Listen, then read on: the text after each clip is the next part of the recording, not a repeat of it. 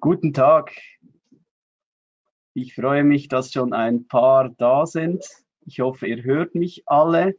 Äh, sonst gibt Röne mir Bescheid. Herzlich willkommen zum Webinar heute von Prophysics äh, mit tatkräftiger Unterstützung von unseren Partnern und Kunden. Ihr solltet mein, mein Screen sehen mit dem Programm von heute. Ich werde, äh, ich denke, wir starten so um, um äh, 10 nach. Ist nicht allzu viel geplant. Äh, eine kurze Begrüßung, Einführung von meiner Seite. Und äh, dann werden wir dann gleich an äh, Franka Planz übergehen von, übergeben von Contemplas. Also nochmal herzliches Willkommen von meiner Seite. Äh, ich sehe, es sind schon einige von euch da. Das freut mich sehr. Und äh, ja, wir reizen die technischen Möglichkeiten heute aus. Es ist so, dass ihr im äh, Bedienmenü äh, verschiedene Punkte seht. Im Grundsatz ist es so, dass äh, ihr, wenn ihr Fragen habt, äh, ähm, beim Punkt Fragen oder wer es auf Englisch eingestellt hat, Questions, eine Frage stellen könnt. Diese Frage wird entweder direkt von René beantwortet oder sie wird dann gleich dem äh, Referenten gestellt oder dann im häufigsten Fall wird sie in die Diskussion am Ende der Präsentation, der jeweiligen Präsentation einfließen. Ich hoffe, das ist für euch alle so in Ordnung. Äh, ist auch schade, dass äh, wir euch nicht sehen, aber äh, das würde die Bandbreite äh, sprengen, bei denen zumindest die äh, WLAN verwenden. Und ich hoffe dann, dass wir uns bei einer anderen Gelegenheit alle persönlich oder in einem Meeting online sehen können. Auf jeden Fall freut es mich sehr, dass so viele da sind. Ich gehe kurz darauf ein, was wir heute sehen. Äh, wie ihr seht, äh, mache ich im Moment die Begrüßung. Und für die, die mich nicht kennen, ich bin Yves Hess von Prophysics. Ich arbeite in diesem Jahr äh, ja, zehn Jahre bei Prophysics, was mich sehr freut, aber mir auch äh, nicht nur Lachfalten, sondern auch äh, Stirnfalten ins Gesicht gezaubert hat. Und äh, ja, Prophysics wächst jedes Jahr ungefähr um einen Mitarbeiter. Wir sind jetzt zwölf Leute und äh, ja, ihr könnt es euch denken, obwohl äh, im Moment nicht viel gereist werden kann, haben wir trotzdem viel zu tun. Projekte, die zum Teil installiert werden können, zum Teil nicht. Und äh, auch unsere Partner sind nicht äh, faul rumgesessen, sondern haben fleißig entwickelt und euch neue Funktionalitäten ähm, gezaubert, die wir heute sehen. Äh, ich bin sehr gespannt, weil es gibt viel Neues. Und äh, starten werden wir dann mit Contemplas, mit Franka, die uns das äh, neue Markers Tracking 2D vorstellt, äh, welches jetzt mit der neuen Templar-Version rauskommt. Laura Hoffmann von Numo wird uns einen kleinen Erfahrungsbericht geben, weil er schon seit Herbst das Tracking, das neue Markers Tracking von Contemplas verwendet und die ersten Erfahrungen damit sammeln konnte. Dann nach einer kurzen Pause wird Alessandra und Marco von äh, Microgate sprechen, vor allem über die Möglichkeiten mit dem Optogate-System und in Kombination mit äh, ihrem äh, Inertialsensor, dem Chaiko, und auch ein paar Anwendungsbeispiele zeigen. Je nachdem, wie wir zeitlich drin sind, werde ich vor dem Mittag oder dann nach dem Mittag etwas, äh, noch ein bisschen einen Ausblick beziehungsweise auch einen Einblick in die 3D-Welt der Lauf- und Ganganalyse geben. Und äh, ja, ein kleiner Wermutstropfen heute ist die Präsentation von Zebris, die wahrscheinlich ausfallen wird, weil im Grundsatz ähm, da der ganze IT-Server ausgefallen ist. Also die sind wirklich, äh, ja, gestern, wie man auf Schweizerdeutsch sagt, äh, seit gestern im Seich, weil sie, ja, kein, äh, keinen Rechner, keinen Laptop mit dem System verbinden können, keine Präsentation laden können, nichts zeigen können. Also müssen wir ziemlich sicher auf die Präsentation von Zebris verzichten. Ich würde dann aber trotzdem im Nachgang an, äh, an, das, äh, an das Webinar euch sowieso die Aufzeichnung schicken und auch dann die Präsentation von Zebris noch nachliefern. Genau, so zum Programm. Jetzt als erstes einfach noch ein bisschen, um, um einen Eindruck zu kriegen, wer heute zuhört. Eine kleine Umfrage, die ihr eigentlich jetzt gleich dann auftauchen äh, sehen solltet.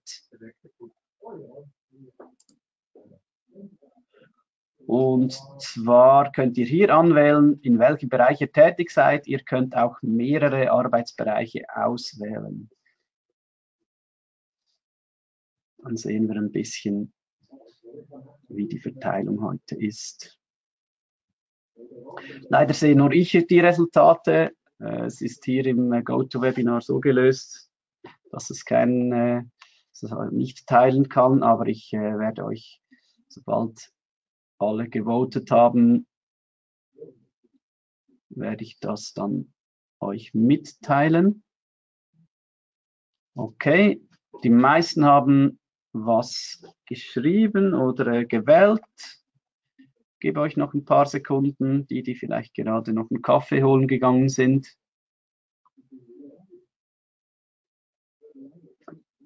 Okay, also es sind ja, rund die Hälfte, 44 Prozent im Bereich Orthopädie-Technik tätig, einige, ein Drittel von euch im Bereich Therapie und mit knapp 30 Prozent Klinik und Wissenschaft, auch äh, ähm, einige aus dem Bereich dabei, dann ein paar wenige sind aus anderen Bereichen. Und äh, ja, so wie ich das gedacht habe, die Verteilung sehr, sehr gut. Also Orthopädie, Technik, Therapie, Klinik, Wissenschaft fast gleich oft vertreten, was mich natürlich freut. Dann eine nächste Frage, die ich euch gerne stelle ist folgende.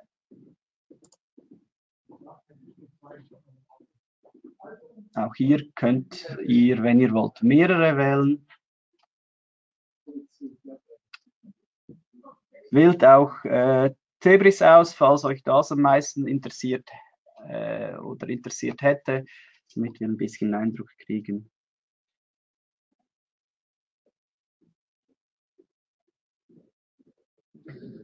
Viele haben schon abgestimmt. Das ist perfekt. Ich lasse euch noch ein paar Sekunden Zeit.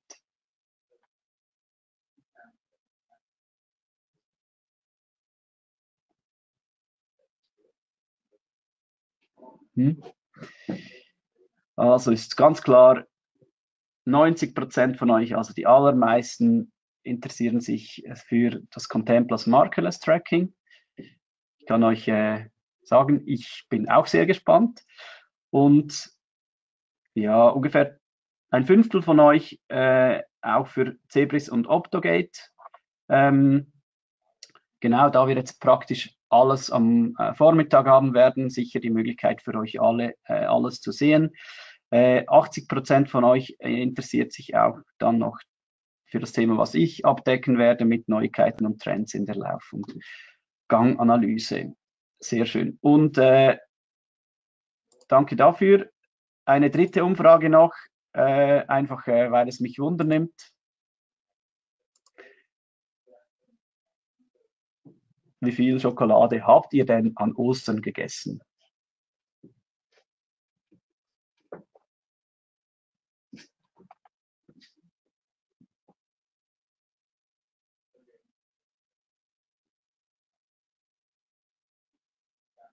Mhm.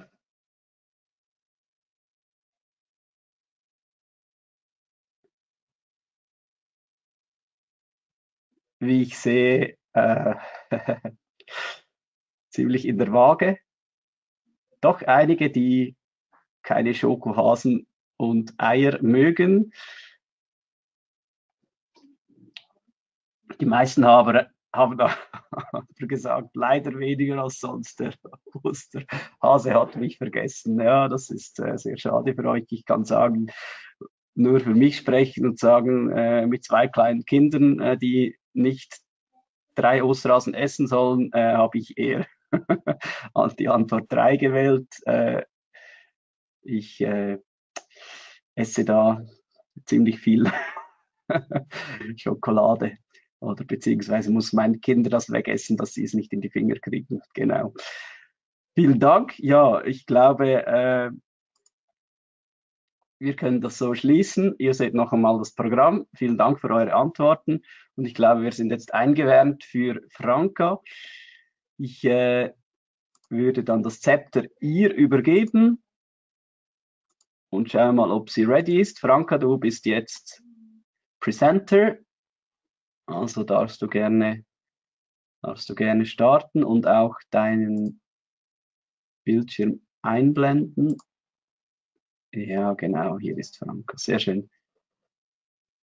Franka, sag mal was, ob wir dich hören. Genau, hört ihr das? Perfekt, sehr gut. Und ich sehe auch deine Präsentation, werde mich jetzt äh, kurz in den Hintergrund verabschieden. Viel Spaß mit Franka ja. und wir sind gespannt, Vielen Dank schon mal. Genau. Also herzlich willkommen auch von meiner Seite als Vertreterin von Contemplas.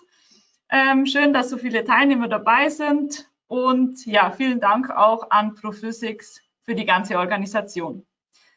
Ähm, ich würde einfach einen kurzen Überblick mal geben, was ich so in den nächsten 20 bis 30 Minuten vorhabe. Ähm, ich würde ganz kurz die neue Templo-Version für 2021 vorstellen, also hauptsächlich die Änderungen in der Gang- und Laufanalyse, ähm, was sich jetzt auch schon ein bisschen in den letzten Versionen, aber insbesondere jetzt für die neue Version 2021 getan hat ähm, und würde dann übergehen in einen kleinen Workshop beziehungsweise in eine Demo direkt in der Templo-Software dann. Genau, und zum Schluss haben wir bestimmt noch Zeit, um Fragen zu klären, falls noch irgendwas offen ist. Dann einfach in den Chat schreiben, dann können wir danach noch die einzelnen auf die einzelnen Fragen eingehen. Genau, also die Templo-Version 2.21 steht schon in den Startlöchern und wir haben insbesondere in der Gang- und Laufanalyse ganz schön viel Arbeit reingesteckt und auch da, glaube ich, einige Fortschritte erzielt. Ähm, wir gehen mal runter auf die erste Folie. Ähm, genau, die wichtigste Änderungen in der klinischen Ganganalyse und in der Laufanalyse war für uns die Integration von markerlosen Tracking.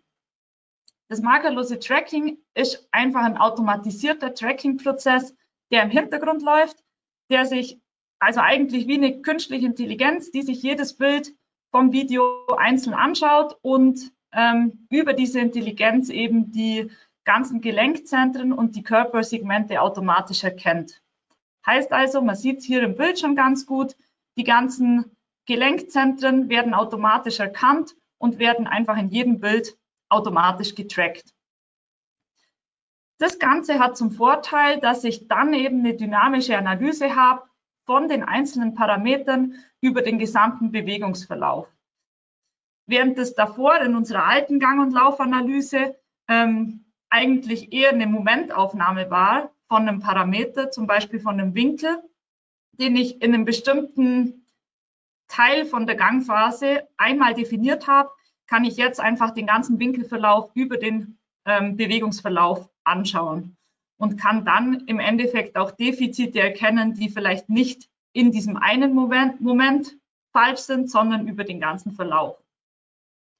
Das markerlose Tracking führt natürlich auch zu einer Zeitersparnis, weil ich keine Marke mehr klicken muss. Ich muss keine Marke mehr im Nachhinein digitalisieren, also einfach in der Software nachklicken, weil es alles automatisch passiert.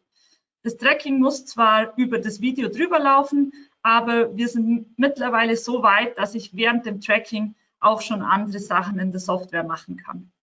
Das heißt, ich verliere im Endeffekt keine Zeit, ich kann währenddessen schon die Events klicken und ähm, nach wenigen Sekunden habe ich dann wirklich alle Ergebnisse zur Verfügung, ohne dass ich groß selbst noch was machen muss. Ähm, ein weiterer Vorteil ist einfach die erhöhte Objektivität. Das bedeutet, ähm, dass die, ganze, ähm, die ganzen Parameter einfach objektiver sind, weil nicht Tester 1 heute misst und Tester 2 morgen beispielsweise. Also die Subjektivität der, der verschiedenen Tester fällt in dem Fall einfach weg, weil Tester 1 wird vielleicht das Kniegelenk bisschen anders klicken wie Tester 2 und in dem Fall ist eben diese künstliche intelligente Prozess im Hintergrund, der dann das Kniegelenk immer gleich setzt. Heißt also, die Variabilität zwischen den ganzen Testern fällt schon mal weg. Und was das Markerless Tracking noch als ähm, Benefit mit sich bringt, ist, dass die Bewegungsrichtung ähm, automatisch bestimmt werden kann. Einfach aufgrund von, den, von der Erkennung von der Person wird natürlich dann auch die Bewegungsrichtung automatisch definiert. Heißt also, läuft die Person von links nach rechts, läuft sie auf dem Laufband, läuft sie von rechts nach links. Das wird alles automatisch erkannt. Genau, der nächste Punkt, was neu ist, ist das Infocenter. Das Infocenter ist in der Ganganalyse verfügbar. Ähm, das bietet einfach eine neue Möglichkeit für eine äh, verbesserte Übersichtlichkeit. Heißt also, im Infocenter finde ich die ganzen Informationen zu einem Patient.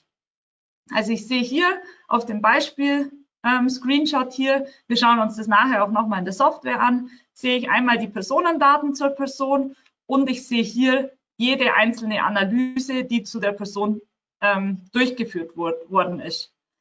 Heißt also, ich habe hier ein kleines Bild, wo ich vielleicht nochmal ähm, kurz die Analyse besser zuordnen kann, weil ich auf den ersten Blick schon sehe, geht die Person mit Krücken. Also ich sehe einfach, ähm, schon die ersten Details hier.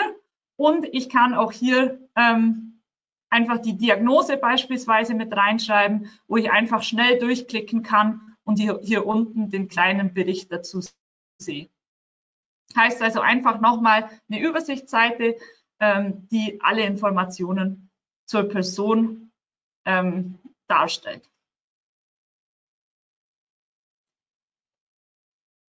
Dann haben wir für die Ganganalyse und auch für die Laufanalyse eine neue Benutzeroberfläche gestaltet. Ähm, und das sind die sogenannten Dashboards.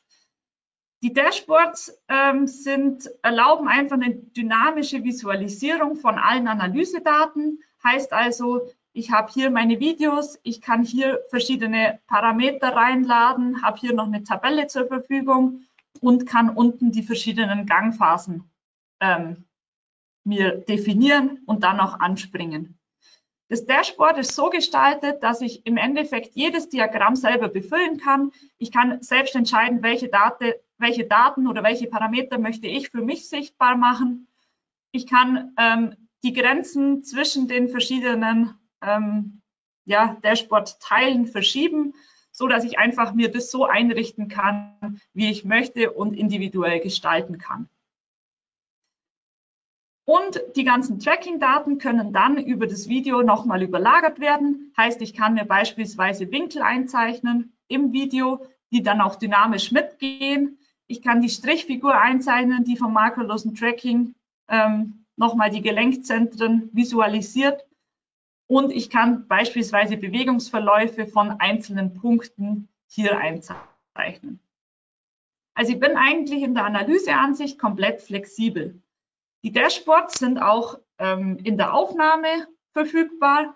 Da hat es einfach den großen Vorteil, dass ich mir auch die Daten alle live anzeigen lassen kann. Heißt also, ich kann auch ähm, einfach mal in die Aufnahmeansicht gehen und mir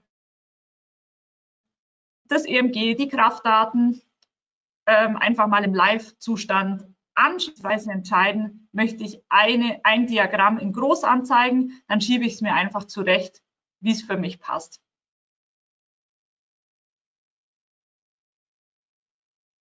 Dann zum Reporting. Wir haben momentan verschiedene Reportmöglichkeiten. Das ist einmal der PDF-Report. Der ist derzeit verfügbar als Schnellreport-Funktion. Heißt also, ich kann meine Dashboards, die ich mir zusammengestellt habe und die ich auch abspeichern kann, kann ich mir einfach als PDF-Report ausgeben. Ich kann verschiedene Schnellreport-Seiten erstellen die dann zum Schluss zu einem PDF zusammengefasst werden können und dann einfach ausgedruckt, per E-Mail verschickt werden oder wie auch immer. Ich kann außerdem einen Videoexport machen. Da schauen wir jetzt noch mal ganz kurz auf die Dashboard-Seite zurück. Ähm, heißt also, ich würde von den zwei Videos, die mir jetzt zur Verfügung stehen, können natürlich auch mehrere Videos sein, ähm, kann ich mir ein Videoexport machen. Heißt also, ich habe zum Schluss ein Video, wo beide Videoansichten drin enthalten sind, wo natürlich auch ähm, Bewegungsverläufe, was auch immer ich in dem Video eingezeichnet habe, wo das natürlich auch alles ähm, in dem Video dann eingezeichnet ist. Und ich habe dann zum Schluss ein Video, das komprimiert ist und beide Videoansichten enthält, was ich dann dem Patienten mitgeben kann oder auch mit dem Arzt oder wie auch immer teilen kann.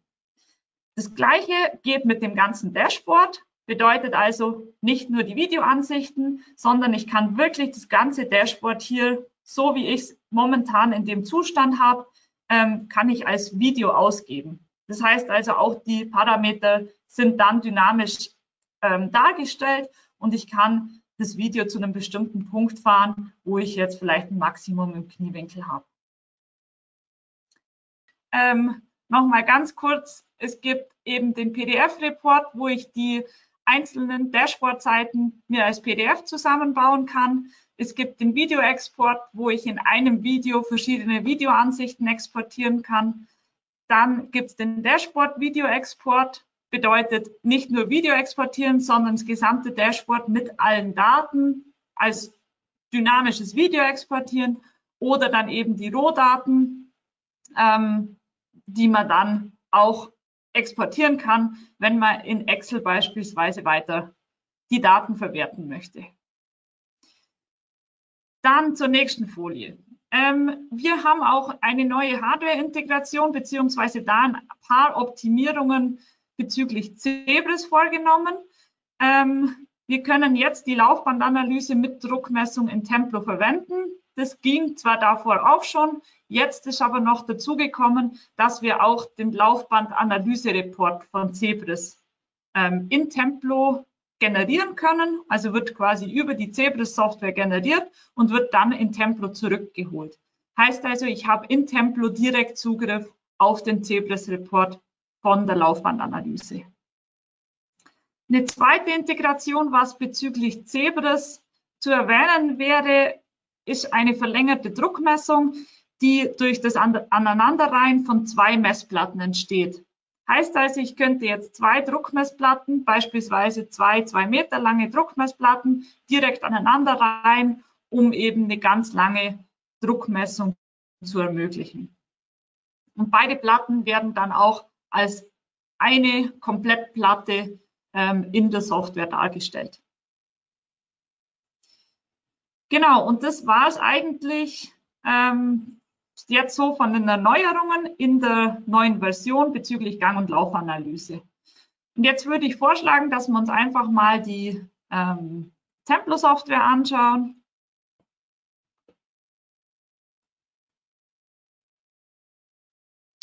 Heißt also, wir sind jetzt hier ähm, in der Templo-Software. Ich habe die ganz normale Daten an, Datenbankansicht jetzt geladen und wir fangen jetzt einfach mal an mit einem Beispiel in der Ganganalyse, ähm, schauen uns danach dann aber auch gern noch ein Beispiel von der Laufanalyse an. Heißt also die Datenbankstruktur mit den ganzen Personen, mit allen ähm, Informationen, die ich haben möchte. Ich kann mir hier noch weitere Parameter hinzufügen, bleibt uns genauso erhalten.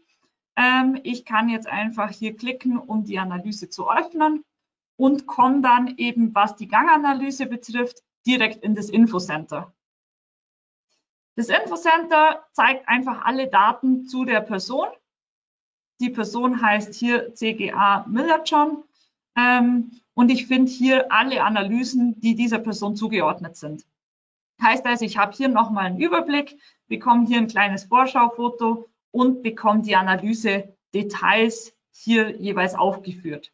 Heißt also, ich kann mich einfach kurz durchklicken und auch nochmal die Diagnose durchlesen, ohne dass ich jetzt die einzelne Analyse öffnen muss.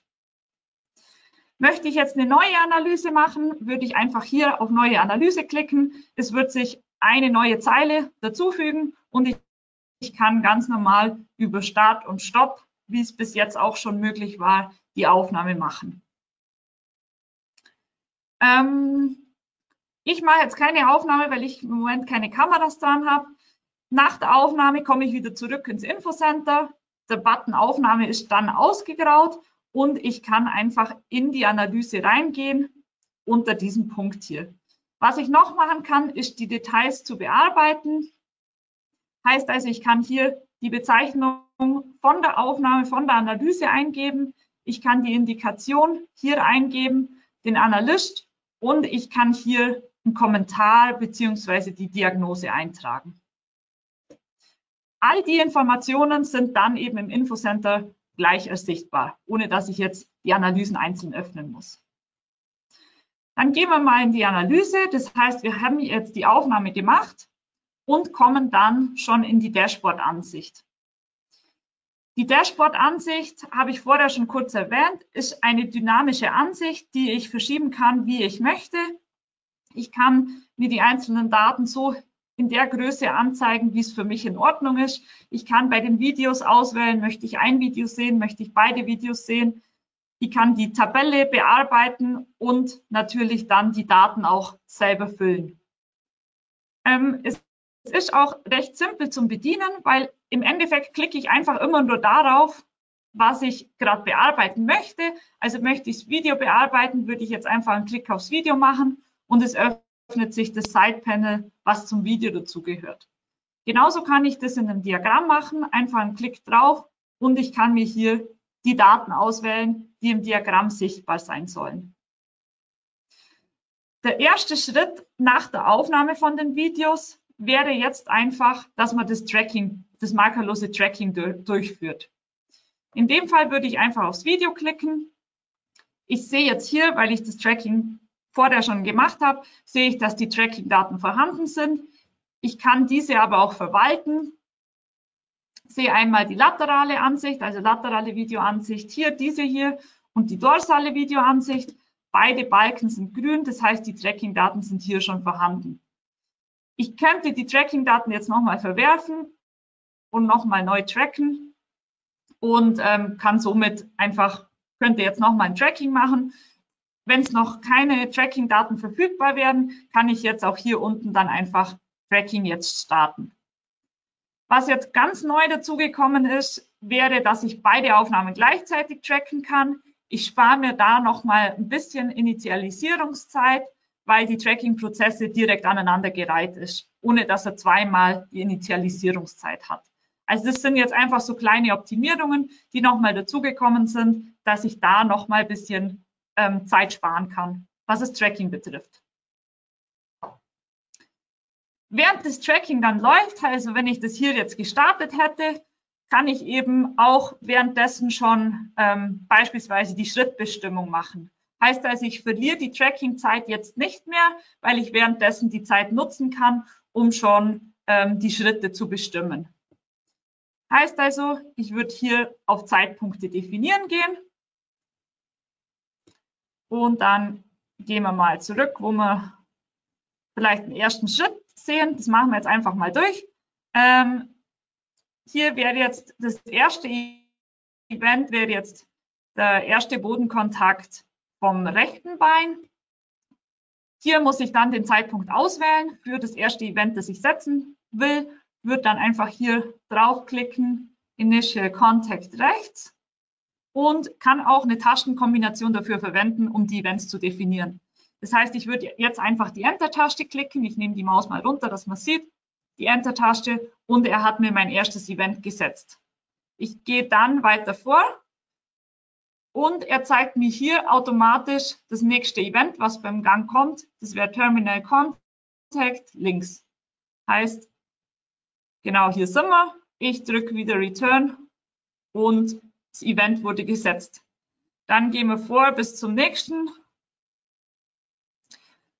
Erster Bodenkontakt.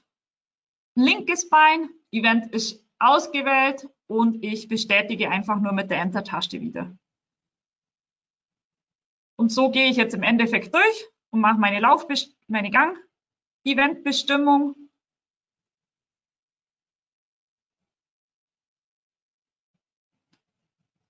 Und mit den Shortcuts geht es auch recht zügig. Das heißt,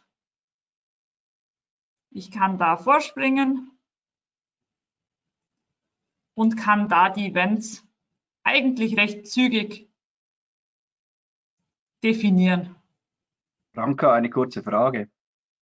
Ja. Gibt, habt ihr eine Shortcut-Liste, die wir dann den äh, äh Anwendern zur Verfügung stellen können? Gibt es die? Ähm, die gibt es noch nicht, aber die können wir gerne erstellen. Also wir sind auch so weit, dass wir das Handbuch noch schreiben, beziehungsweise das wird gerade schon geschrieben. Und da ist normalerweise auch so, dass eine Shortcut-Liste dabei ist. Aber wir können sonst auch einfach jetzt auf Anfrage ähm, eine schreiben, weil so viele sind es ja nicht. Das sind normalerweise mit der Leertaste Video starten, Pfeile benutzen und dann für die Event-Definition. Also das können wir gerne machen. Genau, was ich mich immer frage und immer vergesse, ist, ist der Shortcut für, wenn ich eingezoomt bin, wieder rauszoomen automatisch. Ja, Aber das stimmt, das sind auch den, den gerne, den gerne auch mit draufnehmen. genau, ja, machen wir. Gut, ich lasse dich weitermachen. Ja. Genau, und so habe ich jetzt einfach schon alle Events definiert. Ich ich sehe unten die ganzen Gangphasen, kann die auch einzeln anspringen, heißt also jede Gangphase kann ich anspringen und alles soweit definiert. Was sich jetzt getan hat während der Definition von den Events, dass sich diese Tabelle hier mit den ganzen Gangparametern automatisch gefüllt hat. Heißt also, je mehr Schritte ich habe, desto ähm, mehr Parameter sind hier vom, vorhanden, beziehungsweise desto mehr Parameter sind hier auch mit einberechnet. Und genau, und was uns jetzt noch fehlt, währenddessen ich jetzt die Event, Events definiert habe, ist ja normalerweise das Tracking auch schon durchgelaufen. Ähm, was bedeutet, dass jetzt auch die Tracking-Daten verfügbar sind. Heißt, sobald das Tracking vorhanden ist, füllt sich auch mein Winkeldiagramm automatisch. Ich habe sie jetzt noch nicht mit reingenommen, weil ich einfach noch zeigen will, wie man so ein Diagramm füllt. In dem Fall klicke ich einfach das Diagramm an gehe auf verfügbare Daten, da gibt es die Winkel und ich nehme jetzt beispielsweise die Knieflexion mit rein und die Hüftflexion. So habe ich jetzt das Diagramm mit den beiden Winkeln gefüllt und die Punkte sind sichtbar. Ich kann natürlich auch hier, es bewegt sich alles synchronisiert, also das Video synchronisiert mit den ganzen Daten, mit unten der Timeline, wo ich genau sehen kann, in welchem Teil von der Gangphase ich mich gerade aufhalte. Genau, auch im Videobild können wir jetzt die Tracking-Daten überlagern. Das bedeutet, ich klicke einmal aufs Video drauf, kann mir jetzt beispielsweise die Strichfigur überlagern, wo ich einfach nochmal ähm, bisschen kontrollieren kann, ob die Tracking-Daten auch alle vorhanden sind oder ob es irgendwo abweichen sollte. Ähm, das gleiche kann ich natürlich von Dorsal machen. Ich lade mir auch hier die Strichfigur rein und habe dann in beiden Videos die, die, das Strichmännchen vorhanden. Ich kann auch die ganzen Winkel mir reinlagern, wo ich hier, hier ist jetzt die Beckenkippung noch dabei. Da haben wir ja vorher beim Feedback schon gehört, dass das noch nicht so ganz genau funktioniert. Wir werden es auch jetzt erstmal für den Release rausnehmen. Was ich hier jetzt noch sehe, ist die Hüftflexion und die Knieflexion, welche beide hervorragend funktionieren. Das heißt also, ich kann auch die Winkel mir dynamisch anzeigen lassen, die sowohl die Winkelzahl, die Gradzahl als auch ähm, die Darstellung hier im Videobild verändern. Über eine Taschenkombination, die wir natürlich gern zur Verfügung stellen, ähm, kann ich auch hier reinzoomen und ich kann auch das gezoomte Bild verschieben. Und über eine andere Tastenkombination dann wieder rauszoomen. Was ich mir noch anzeigen lassen kann, sind die Bewegungsverläufe. Heißt also, ähm, ich wähle hier einfach die Punkte aus. In dem Fall habe ich den Kopf ausgewählt und den, das Knie rechts. Also ich kann auch mehrere Punkte auswählen und sehe dann die gelben Linie, die Verläufe von den einzelnen Punkten. Genau, wir können auch mal einfach noch einen Punkt zunehmen, zum Beispiel den Knöchel, wo ich dann auch noch mal unten ähm, den gelben Verlauf sehe. Was ich noch machen kann, auch insbesondere dahin gesehen, dass, ähm, dass die gelben Linien jetzt nicht ganz sichtbar sind, wäre hier eine Bildverbesserung. Heißt also, ich habe hier verschiedene Parameter, die ich nutzen kann, um das Bild, die Helligkeit besser zu machen, um die Qualität ein bisschen zu erhöhen. Ähm, ich kann jetzt hier einfach mal die Helligkeit ein bisschen rausnehmen, dann sehe ich jetzt auch die Verläufe besser.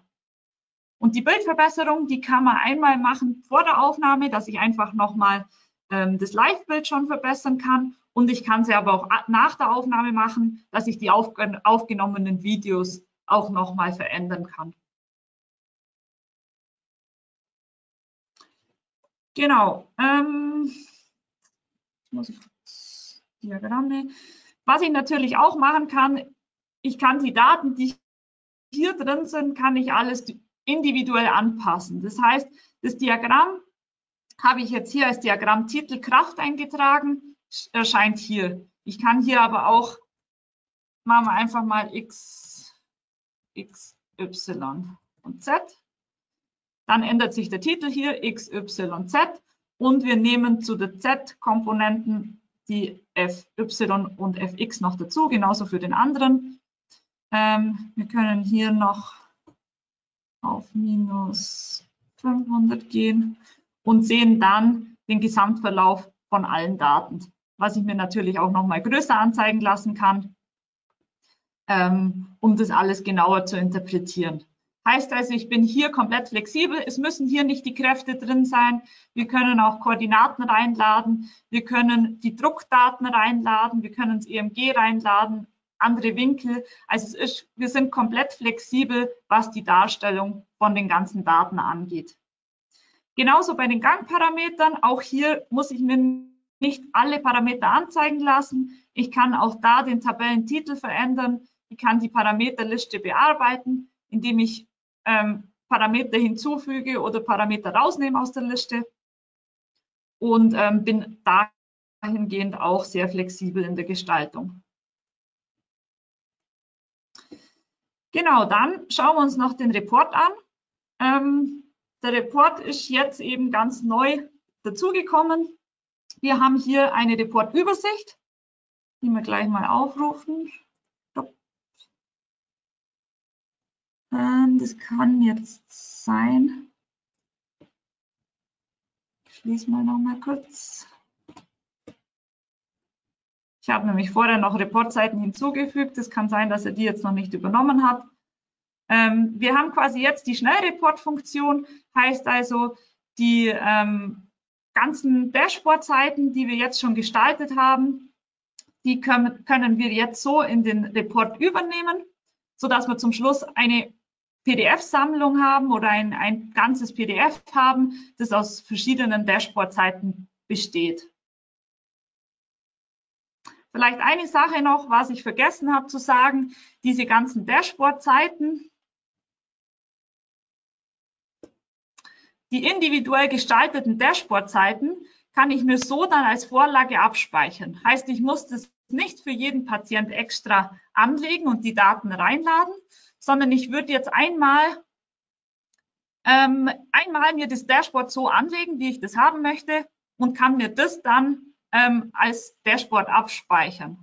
Und das mache ich einfach hier, aktuelles Dashboard, aktuelle Dashboard-Ansicht speichern, kann die Bezeichnung dazugeben, kann auch eine kurze Beschreibung dazugeben, beispielsweise welche Daten drin vorhanden sind und kann mir das so abspeichern. Und so kann ich mir auch verschiedene Dashboards auswählen die ich haben möchte, die ich selber abgespeichert habe oder sogar vordefinierte Dashboards von uns und kann die dann auch verschiedene Dashboards in den Report mit aufnehmen. Vielleicht möchte ich ein Dashboard haben, wo nur die Daten angezeigt sind. Dann würde ich das Dashboard jetzt hier einfach aufrufen und kann das dann auch als Reportseite dazu nehmen. Schauen wir mal in die Reportübersicht rein. Hier sehen wir jetzt die Reportübersicht. Da habe ich eben vorher noch ein paar Reportseiten erstellt. Heißt also, wir haben jetzt hier ähm, einen Report von neun Seiten momentan, wo ich jetzt einfach auch Reportseiten dazufügen könnte noch. In der Report-Ansicht ist es so, dass ich ähm, reinzoomen kann, heißt also, ich bekomme die nächstgrößere Ansicht, dass ich die Reportseiten auch gut sichtbar auf einen Blick alle anschauen kann. Ich kann auch ähm, einen Doppelklick drauf machen, dann kriege ich die ganze Seite im Vollbild und kann dann natürlich wieder zurückgehen in eine kleinere Ansicht, so dass ich wieder einen Überblick habe. Jetzt fügen wir mal eine Reportseite hinzu. Heißt also, ich habe mir die Seite jetzt so hingerichtet, wie ich es haben möchte. Gehe vielleicht noch genau in die Position, wo ich was zeigen möchte. Ich kann auch hier äh, nochmal ins Videobild reinzoomen. Wenn wir das vielleicht noch mal ein bisschen größer machen hier, dass wir sagen, wir zoomen jetzt hier einmal rein, ziehen uns das noch so hin und das möchte ich jetzt so als Reportseite hinzufügen. Dann würde ich jetzt hier unten auf den Button Schnell Report Seite hinzufügen klicken. Und er übernimmt dann diese Seite in die Report-Übersicht, setzt sie ganz zum Schluss. Wir sehen hier unten 10 von 10. Heißt, ich habe jetzt 10 Reportseiten und setze sie da ganz zum Schluss hin. Ich kann die Seite jetzt einfach mit einem Doppelklick öffnen und habe noch die Möglichkeit, dass ich hier das Ganze kommentiere. Heißt also, genau zu der Situation, genau zu dieser Seite kann ich jetzt hier einen Kommentar dazu schreiben. Wenn wir dann wieder zurückgehen in die Report-Übersicht, dann sehe ich hier, die Reportseite wird gespeichert und ich habe auch schon den Kommentar mit dabei. Was ich noch machen kann, wenn wir nochmal in die ganze Übersicht gehen, ähm, ich kann die Reportseite auch woanders hinziehen. Heißt also, ich und ich kann auch entscheiden, ob Reportseiten im PDF, das ich hier erstellen kann oder direkt drucken kann oder auch als E-Mail ähm, versenden kann, ob ich da alle Reportseiten haben will oder ob ich welche deaktivieren will. Heißt also, ich kann auch hier Seiten deaktivieren und dann werden nur die mit dem grünen Haken übernommen.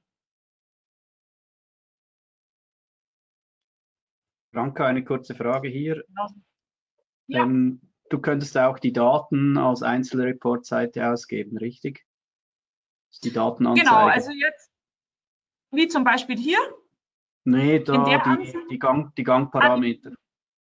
Die Parameter könnte ich auch. Also ich kann ja im Endeffekt ähm, einfach die Parameter so groß ziehen, dass die, wenn ich jetzt noch mehr Parameter drin habe, dass die die Seite ausfüllen und könnte das als Einzelseite mir ausgeben. Gut. Genauso klar. gut kann ich ganze, ganze Listen oder ganze Diagramme ausblenden und nur diese Seite beispielsweise oder sagen wir mal nur das Video, ähm, wenn wir das noch ein bisschen größer ziehen, nur das Video mit den Kraftdaten beispielsweise ausgeben. Also ich bin in der Gestaltung von diesem Dashboard völlig frei und kann dann einfach über diese Schnellreport-Funktion ähm, den Report erstellen. Jetzt denke ich, wäre noch gut, wenn wir das auch für die Laufanalyse noch sehen äh, Ja, genau. Ja.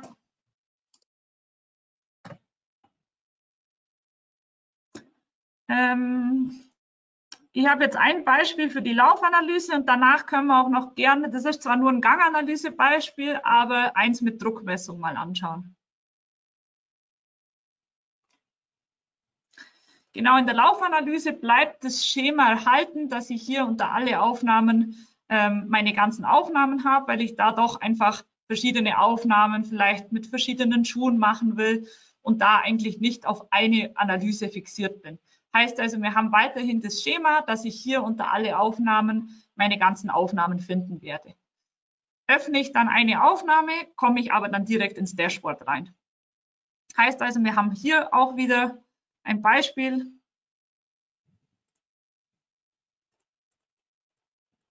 wo die Tracking-Daten schon vorhanden sind. Auch die, ähm, die ganzen Phasen unten sind schon definiert, die ich anspringen kann. Ähm, ich habe hier jetzt einfach mal als Winkel die, die Knieflexion drin. Wir können aber auch da unterschiedliche Winkel mit reinladen. Ähm, wir können natürlich auch die Tracking-Daten uns anzeigen lassen, was vielleicht auf dem Laufband auch ganz interessant ist, insbesondere der Y-Wert von den einzelnen ähm, von den einzelnen Körperpunkten eigentlich. Beispielsweise, was macht der Kopf, wie weit ist die Hoch, äh, die Tief-Hochbewegung im Endeffekt. Also auch hier bin ich genauso flexibel mit, einem, mit dem ganzen Dashboard. Ich kann im Videobild natürlich wieder die Winkel anzeigen. Ähm, hier sind jetzt auch schon die Winkel integriert, die wir ähm, insbesondere mit dem IV auch abgesprochen haben. Heißt also beispielsweise der Ellenbogenwinkel, der ähm, die Ellenbogenflexion beziehungsweise das Läuferdreieck darstellt. Die Oberkörperneigung, ähm, der Sprunggelenkswinkel ist mit drin. Und ich glaube, in diesem Video, wenn wir da mal noch die Winkel mit reinnehmen, haben wir auch die Schulterachse mit dabei. Und auch hier ähm, sind jetzt, hat der Yves ja schon gesagt, auf Anfrage der Achillessehnenwinkel und der Fersenbodenwinkel mit drin. Ich zoome da vielleicht mal rein, dass wir es besser sehen. Ähm, die sind natürlich mit äh, Vorsicht zu genießen, weil die nur in der Standphase auswertbar sind. Also da muss man einfach schauen, dass man da nicht den gesamten Winkel interpretiert, sondern nur bestimmte Winkelwerte. Trotzdem können wir die auf Anfrage natürlich gerne rausgeben.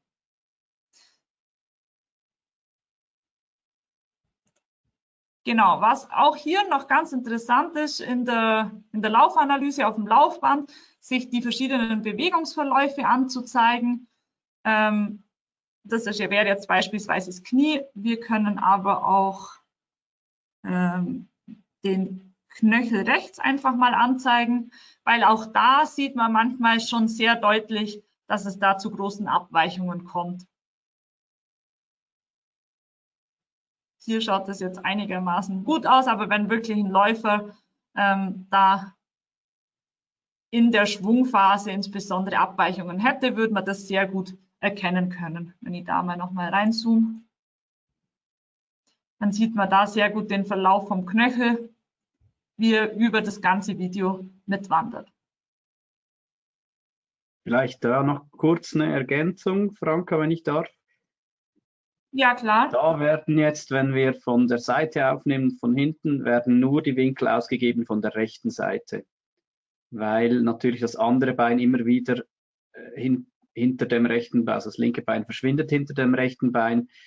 Man könnte natürlich die Winkel auch ausgeben, aber kann sein, dass da auch was verschwindet, dass das halt die Software dann nicht sieht, obwohl es so aussieht im, im Strich. Äh, Männchen, dass es da äh, die Strichfigur zeigt, dass es da relativ sauber aussieht, wird, wird nur die rechte Seite, die sichtbare Seite ausgegeben.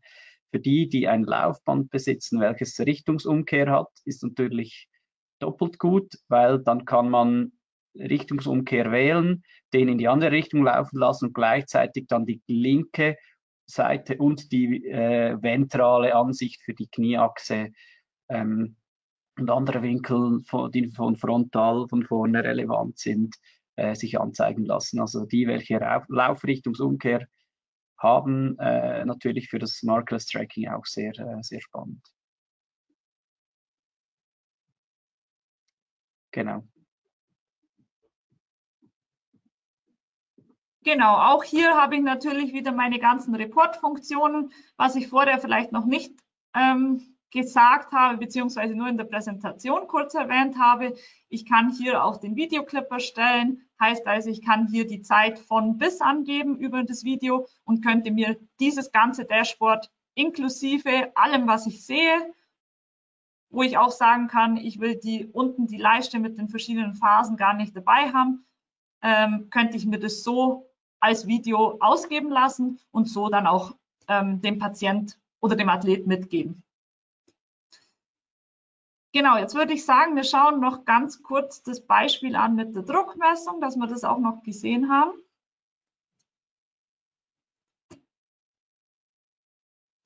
Leider ein Gangbeispiel. Wir haben momentan kein Beispiel mit Druckmessung auf dem Laufband, ähm, aber es ist ja sehr ähnlich.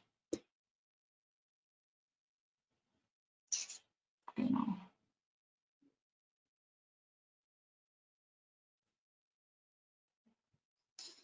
Da würde ich jetzt einfach ein Dashboard auswählen, wo eine Druckansicht mit dabei ist, wie beispielsweise Video und Druck. Heißt also, ich habe hier meine beiden Videos und dann hier die Druckmessplatte. Wenn wir mal nach vorne gehen, sehen wir auch, dass die Druckmessung hier angezeigt wird. Ich habe dann noch verschiedene Optionen, was ich mir einblenden lassen kann. Beispielsweise haben wir jetzt die 2D-Ansicht. Ich kann mir das Ganze auch als 3D-Ansicht ausgeben und so hinziehen, wie ich es gerne sehen will, dass es einfach nochmal der Peak verdeutlicht wird. Ich kann mir die Ganglinie anzeigen von den beiden Schritten. Ich kann den maximalen Druck anzeigen. Hier sieht man nochmal ganz deutlich die beiden Schritte, die er hier über die Druckmessplatte macht. Ähm, und ich kann auch, was ich immer ganz gut finde zur Veranschaulichung, ähm, den maximalen Druck als Schatten ausgeben. Heißt also, der Schatten bleibt.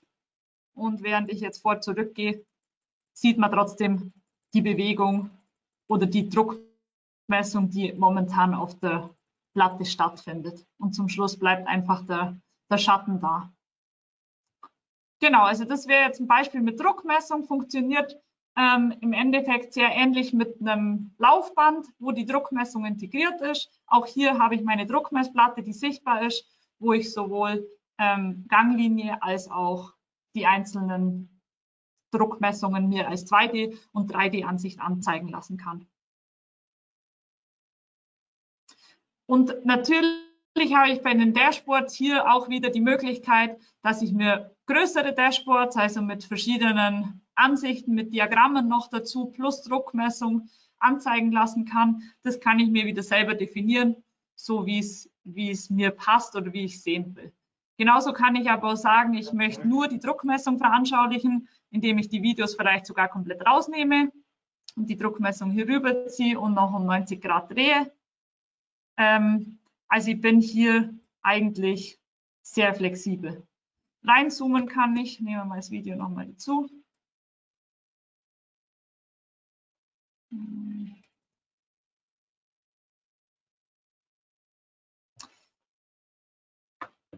Ich kann hier auch in die Druckmessung nochmal reinzoomen und mir das veranschaulichen und genauso dann wieder rauszoomen, beziehungsweise mir das einfach so hinziehen, wie ich sehen möchte. Und genau in dem Stil, wie ich mir das Dashboard zusammengebaut habe, könnte ich jetzt auch die Reportseite erstellen. Also die Reportseite, genauso wie das Video, wird immer von der aktuellen Ansicht so verwendet.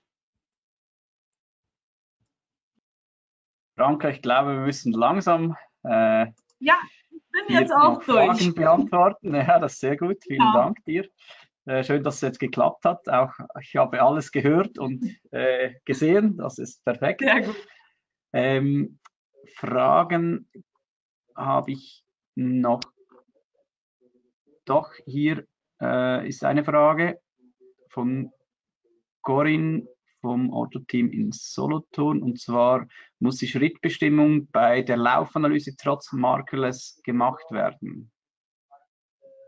Ja, genau. Also die Schrittbestimmung muss trotzdem gemacht werden. Ähm, es kann sehr gut sein, dass wir irgendwann den Schritt gehen, wo wir sagen, ähm, jetzt können wir sie selber durchs markerlose Tracking definieren, dass man einfach sagt, von da bis da. Es ist hier eigentlich möglich, aufgrund von verschiedenen Körperpunkten die Schritte zu definieren. Aber im ersten Schritt wollten wir einfach, falls Tracking-Fehler vorhanden sind, auf Nummer sicher gehen, dass man die Schritte selber bestimmt und da einfach ähm, unnötige Fehler erstmal ähm, beheben kann oder erst gar nicht aufkommen lassen kann. Mhm. Ähm, dann äh, einfach eine Aussage, Super Report, Kompliment. Also denke da, äh, das, da deckt ihr ziemlich jetzt ab, äh, was gebraucht wird, vor allem sehr flexibel, denke ich. Also mhm. ja, da, da kann man sich das selber äh, auswählen, ziemlich einfach zusammenbauen, wie, wie man das gerne hätte. Sag mhm. mal noch etwas zu der Integration von Optogate oder OptoJump, wenn das äh, Leute haben. Ist da schon was in der Mache oder ist es sogar schon drin, wenn man da die Gangparameter zusätzlich reinziehen will? Ähm, die Entwicklung hat zwar schon was gemacht, aber es ist momentan noch nicht in der neuen Gang- und Laufanalyse integriert. Heißt also auch in der Dashboard-Ansicht, in der Parameterliste wird es leider noch nicht automatisch übernommen. Sind wir aber dran das, und da wird sich auch was tun. Das wäre natürlich im Moment der beste, die beste Möglichkeit, um die Gangparameter schnell und einfach automatisiert reinzukriegen, wenn man ein Optogate oder Optojump hat. Ähm, genau, für, für, die Leute, die, die das äh, mitverwenden und sich das gewohnt genau. sind, denke ich, macht das Sinn. Ähm, dann schaue ich noch Fragen äh, kurz, ob da noch was kam. Wenn man, äh, kann man zwei Videoaufnahmen in einen Report bringen, also zum Beispiel Aufnahmen von vorne und hinten, wenn Laufband umgekehrt werden kann. Also eigentlich die Daten von zwei Aufnahmen in ein Dashboard rein. Mhm. Geht das? Ähm, kann man momentan noch nicht, aber ist natürlich vorgesehen, dass das noch kommt. Also insbesondere bei der Laufbandanalyse, dass natürlich beide Richtungen vorgesehen sind, dass ich dann auch im Report ähm, linke Seite mit rechter Seite vergleichen kann, zum Beispiel aus der lateralen Ansicht, weil der Eve hat es ja gerade schon gesagt, ähm, es gibt immer nur die, also Laufband, rechte Seite wird dann nur die rechte Seite erfasst, dreht man um, wird nur die linke Seite erfasst und das ist definitiv ein Feature, das kommen wird. Auch, dass ich verschiedene Parameter vergleichen kann und so weiter. Ähm, das sind jetzt einfach noch ein paar Schritte notwendig mit Zeitnormalisierung und so, wo wir aber jetzt auch in der Entwicklung schon dran sind. Mhm. Dann noch eine Frage, äh, ob es Referenzwerte gibt, die ihr äh, dazu packt. Ich weiß, glaube die Antwort schon. auch das ähm, ist sind wir sehr, sehr viel am Überlegen und Konzept entwickeln. Also ist auch definitiv ein Punkt, den wir angehen werden. Ähm, eventuell so, dass wir Referenzwerte hinterlegen oder auch so, dass man die Schnittstelle offen lässt, dass ähm, der Anwender selber Referenzwerte erzeugen kann und die hinterlegen kann. Also sowohl beide Richtungen, weil wir jetzt nicht unbedingt den Referenzwert vorgeben wollen, sondern einfach da ähm, die Schnittstelle dafür offen lassen wollen. Mhm. Sehr schön. Dann äh, vielleicht noch als letztes äh, etwas zu der neuen Version.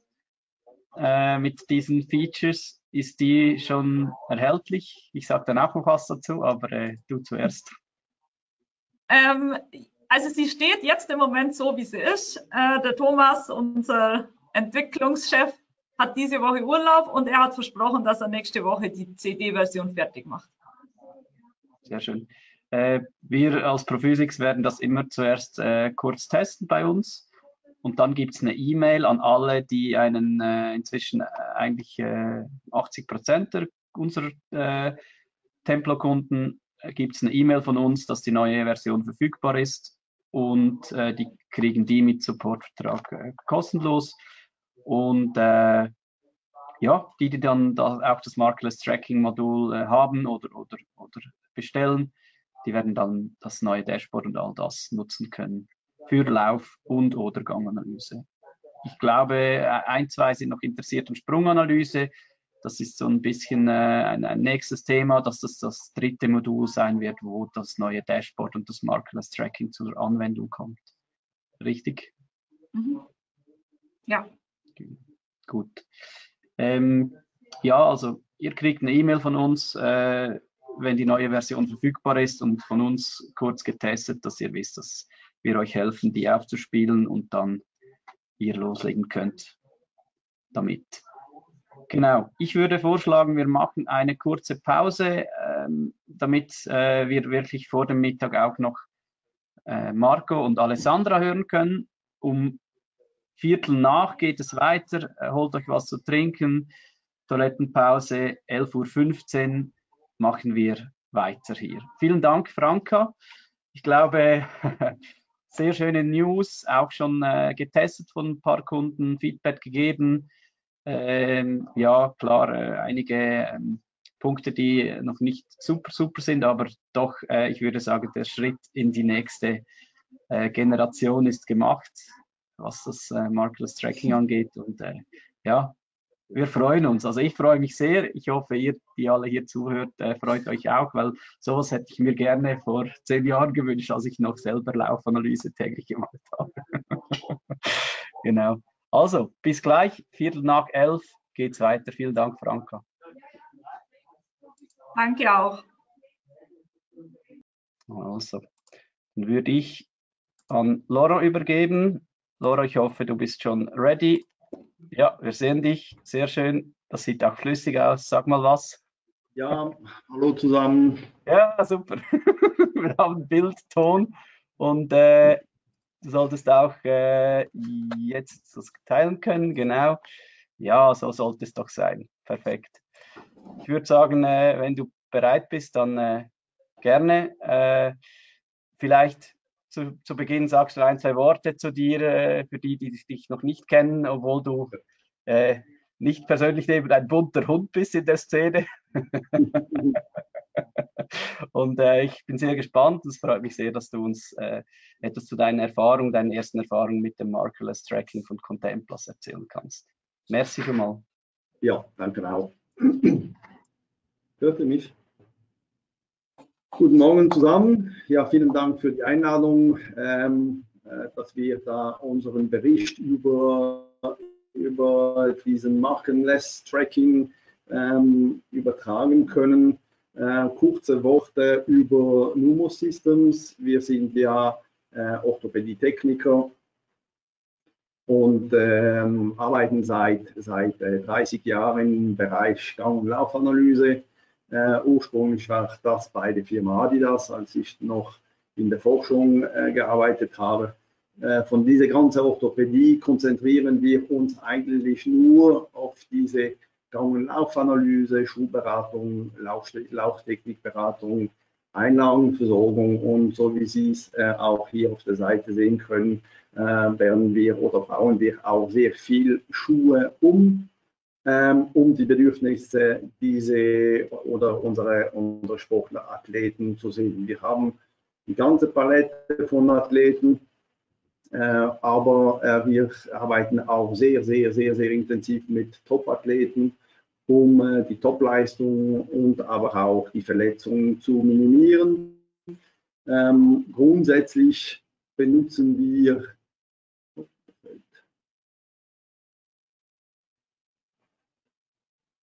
Ja, ja, grundsätzlich benutzen wir ähm, sehr viele Messsysteme, auch Vicon. Wir haben unsere eigene Springbahn und ähm, benutzen seit äh, mehr als 20 Jahren, also seit am Anfang benutzen wir ähm, das Templo, also Contemplas Videoanalyse-Software und, äh, und äh, sind damit sehr zufrieden. Die Evolution ist klar. Äh, jedes Jahr können wir etwas mehr damit machen. Äh, zur Erinnerung, als ich angefangen habe vor 25 Jahren, ein Foto aus einem normalen Kamera in einen Computer reinzusaugen, war überhaupt nicht möglich. Heutzutage können wir über Transferplattformen Videos von Athleten schicken lassen und das äh, hier analysieren. Unsere Erfahrung mit äh, ähm, Sportverletzungen, die äh, sagen, dass es eigentlich drei relevante Bereiche gibt, ähm, die eigentlich die äh, Verletzungen verursachen können. Das eine ist immer das gleiche, Lauftechnik, Bewegungstechnik, dann ganz klar die Feldstellung, äh, Kraftübertragungsfehler, da reden wir nochmals darüber. Und dann das dritte ist das Material. Also bei den Läufer ganz klar Schuhe, Spikes ähm, und, äh, und äh, äh alle diverse Produkte, die, die eigentlich ähm, benutzen, auch den Barfuß. Unsere Philosophie, was wir auch noch ähm, äh, darüber gesprochen haben, ist, wir versuchen eigentlich immer eine optimale Symmetrie links versus rechts und eine optimale Kraftübertragung, also zwischen Boden, Fuß, Knie, Hüften, Becken, Wirbelsäule. Also für mich ist so wenig Energie zu konsumieren für die optimale Leistung. Und äh, das ist im Automobilbereich äh, so, das ist im Velobereich so. Und das versuche ich hier ähm, bei unserer Arbeit auch so einzusetzen. Und damit ist auch dann die optimale Laufbewegungstechnik in der Zusammenhang mit der Körperstruktur, also je nachdem, wie man gebaut ist, ist es klar, dass man eine gewisse Lauf- oder Bewegungstechnik ähm, äh, einsetzen kann. Und dann, äh, klar, wir versuchen einfach ähm, die Energieverluste durch unnötige muskuläre Kompensation versuchen wir ähm, zu, zu, zu reduzieren. Und, ähm, und weil diese Kompensation, diese muskuläre Kompensation sind auch ein großen Faktor oder einer der Hauptgründe für Stressreaktion im Sport. Ich ein kleines Beispiel, was ähm, diese, diese äh, Funktionen ähm, hervorrufen. Ähm, Beispiel von einer Asymmetrie ähm, links versus rechts. Das ist nicht eine seltene Sache, das sehen wir äh, tagtäglich. Und, ähm, und das ist meiner Meinung nach einer der Hauptfaktoren, warum das immer gewisse Verletzungen nur einseitig sind. Und schlussendlich, solche Asymmetrien sind zum Beispiel beim Läufer einer der Gründe, warum dass wir kürzere Schritte haben, warum das ein, ein Schritt kürzer ist auf der einen Seite ist als der andere und warum das gewisse Blockade auch ähm, immer einseitig äh, auftauchen können. Sie sehen, Video ist ähm, in unserem Bereich ein sehr wichtiges äh, Hilfsmittel und, äh, und wir sind sehr, sehr happy, dass wir mit Contemplas äh, arbeiten können. Im Schuhbereich ähm, ist es ganz klar, dass, und das kommt immer mehr, wir reden immer mehr, was hat der Schuh für einen Einfluss auf die ganze ähm, Kraftübertragung und auf die Leistung. Nur hier als Beispiel haben wir Tests mit Karin Hussein gemacht, drei verschiedene Schuhe und zwischen der, der schlechteste Schuh und der, und der beste Schuh haben wir 9% äh, Unterschied im Energiekonsum. Also das wird in der Zukunft auch eine der wichtigen Punkte sein, was hat der Schuh und immer mehr für einen Einfluss auf die Leistungsmöglichkeit, auf den Energiekonsum. Äh, 9% ist ein Riesenunterschied. Und da spielt auch die Videoaufnahmen oder die Videoanalyse-Systeme spielen eine große Rolle, um ähm, die Effizienz oder der, der, Einfluss der Schuhe äh, in der Gangbild einfach zu analysieren. Das Ziel ähm, vom Markerless Tracking bei Numo ist ganz klar, ähm, äh, Laufanalyse bei Leistungssportlern äh, zu, zu machen. Und zwar, wir versuchen immer Barfuß äh, versus mit Schuhen zu vergleichen. Ähm, wir versuchen schnelle und effiziente Vergleiche ähm, zwischen mehreren Produkten oder mehrere Technik ähm, zu analysieren. Ähm, wir versuchen auch eine Evolution der, der Lauftechnik zu interpretieren. Das heißt, wenn der, der Kunde bei uns kommt, ähm, äh, erste Analysen, dann überlegen wir, was da die Optimierung wäre und dann nachher die Erfolge äh, nachher ähm, nachkontrollieren zu können.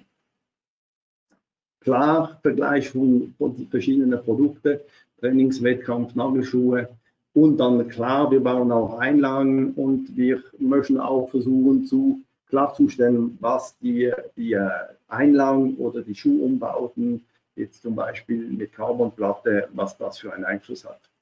Ähm, alle Daten, die wir sammeln, sind ähm, zur Leistung und Trainingsoptimierung ähm, äh, vorgesehen. Aber ein ganz wichtiger Punkt, der für uns sehr, sehr wichtig ist, ist Datenblatt für den Athleten, oder?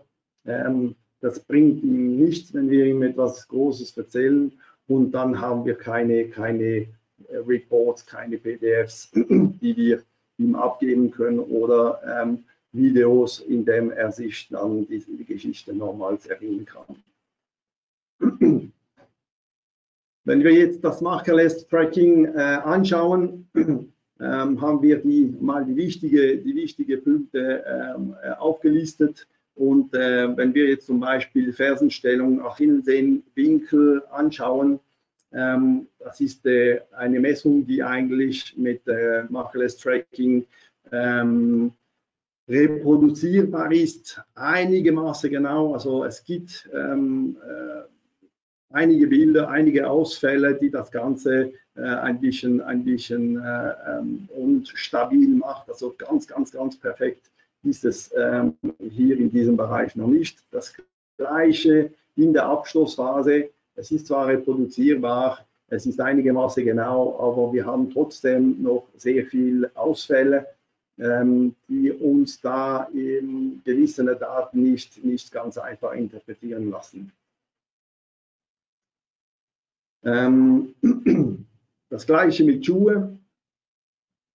Und, äh, aber auch hier ist es relativ wichtig, dass wir mit diesem Markerless Tracking relativ schnell äh, Vergle also Vergleiche machen lassen. Das heißt, äh, barfuß mit Schuhen, mit verschiedenen Schuhen, mit Einlagen, ohne Einlagen. Und das ist äh, für uns ein ganz ein wichtiger Punkt, auch für den Kunde, zum zeigen, dass wir eine Evolution haben in diese, in diese ähm, ähm, Schuhe, Einlagenbesorgung. Für uns das einer der wichtigsten Punkte und äh, die ganze Optimierung der Lauftechnik und der Bewegungsanalyse ist eigentlich, was macht das Becken? Also das Becken ist ja in, in der Lauftechnik einer der Zentralpunkte. Äh, und, äh, und wenn wir da ähm, äh, Optimierung von der, von der Analyse machen können, hilft es uns, äh, klare Statements ähm, äh, zu schaffen.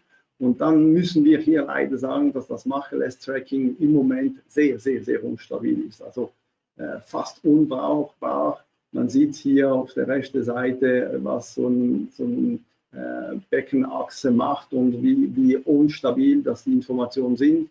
Also da braucht es sehr wahrscheinlich noch viel, viel, viel, viel Arbeit äh, seitens Contemplas, um, um da äh, genaue Informationen oder genauere Informationen zu schaffen. Ähm, Beinachse, das funktioniert sehr, sehr gut. Das ist, ähm, äh, wie Sie uns da bei unserem Beispiel haben, die unterschiedliche äh, Beinachsen, die wir eigentlich äh, sehen können. Also auf der anderen Seite haben wir sehr viele Fußballspieler, Standphase, Standbein und Schussbein, Schussbein, die eigentlich nicht das Gleiche machen und auch schlussendlich eine andere Struktur haben. Äh, Beinachsen, das funktioniert sehr, sehr gut. Wir haben auch diese ganze Geschichte auch noch der Adduktionswinkel des Beins, das heißt gegenüber ähm, äh, der, das Beckenbild haben wir diese Verschiebung der Ad- und Abduktionwinkel des Beins. Das funktioniert sehr, sehr gut. Sehen wir nachher in der Tabelle, die wir dann schlussendlich generieren.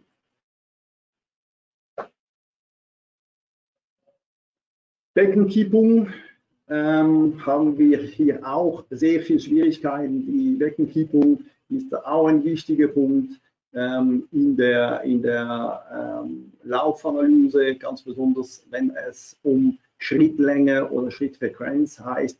Äh, wenn ich längere Schritt äh, haben möchte, dann muss, muss ich mehr Mobilität im, im, Becken haben.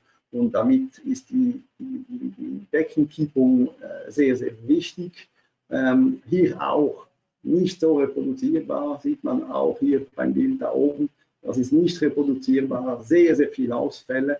Aber ich denke, das ist, ähm, das ist eine, eine Evolutionssache.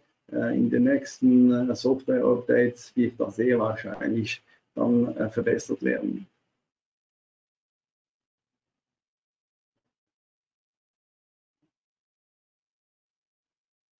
Äh, jawohl.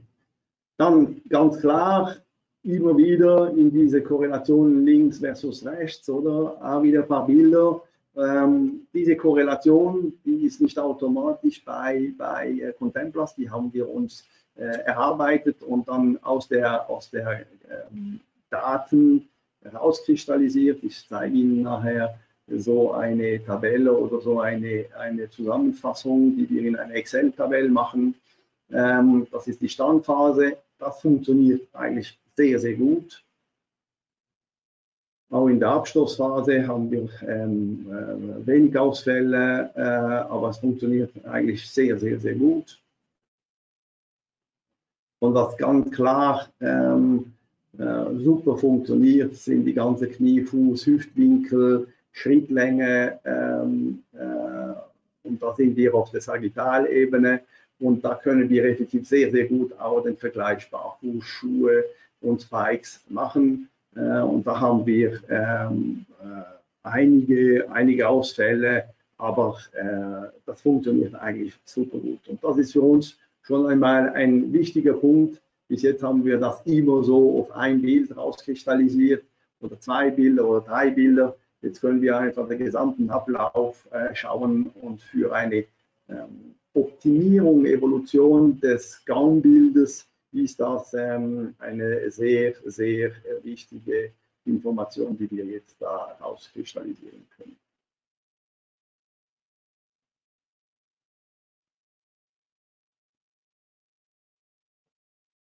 Das nächste Bild. Ups, da fällt noch etwas.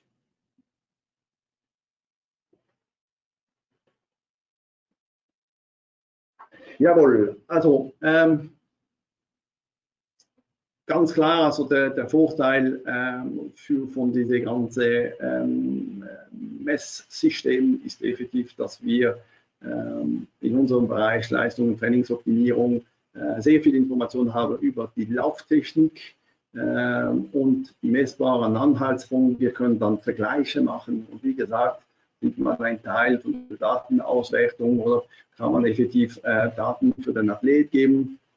Hier, das ist eine von unseren Athleten gewesen, wo wir effektiv die Geschwindigkeit, die Kadenz, die Schrittlänge, ähm, effektiv Laufband ähm, zerstört oder verändert. Grundsätzlich ein Teil des Gaumbildes. Ähm, wir versuchen jetzt auch ähm, dieses Content Plus Markerless Tracking auch für unsere Springbahn mit der Sprinter äh, einzusetzen. Äh, da habe ich noch zu wenig Erfahrung, aber wir sind dabei, ähm, diese, diese Content Plus äh, Markerless Tracking Software äh, auch auf unsere Springbahn zu benutzen. Ähm, ganz wichtig für uns sind ähm, Datenbank ist eine Datenbank zu generieren, was wir auch noch gerne machen möchten. Und das kann ich Ihnen kurz zeigen, ist, dass wir zwischen verschiedenen Athleten, zwischen verschiedenen Disziplinen, aber auch dann für Kunden, die nicht so an diesem Top-Niveau funktionieren, sagen können, schau mal, ähm, in diesem Bereich, in dieser Sportart, der Beste oder die drei Besten oder die vier Besten, die funktionieren so und du funktionierst so und dann die, die, die Daten eigentlich vergleichen können hier ein Beispiel, was wir jetzt da an einen Kunde abgeben können.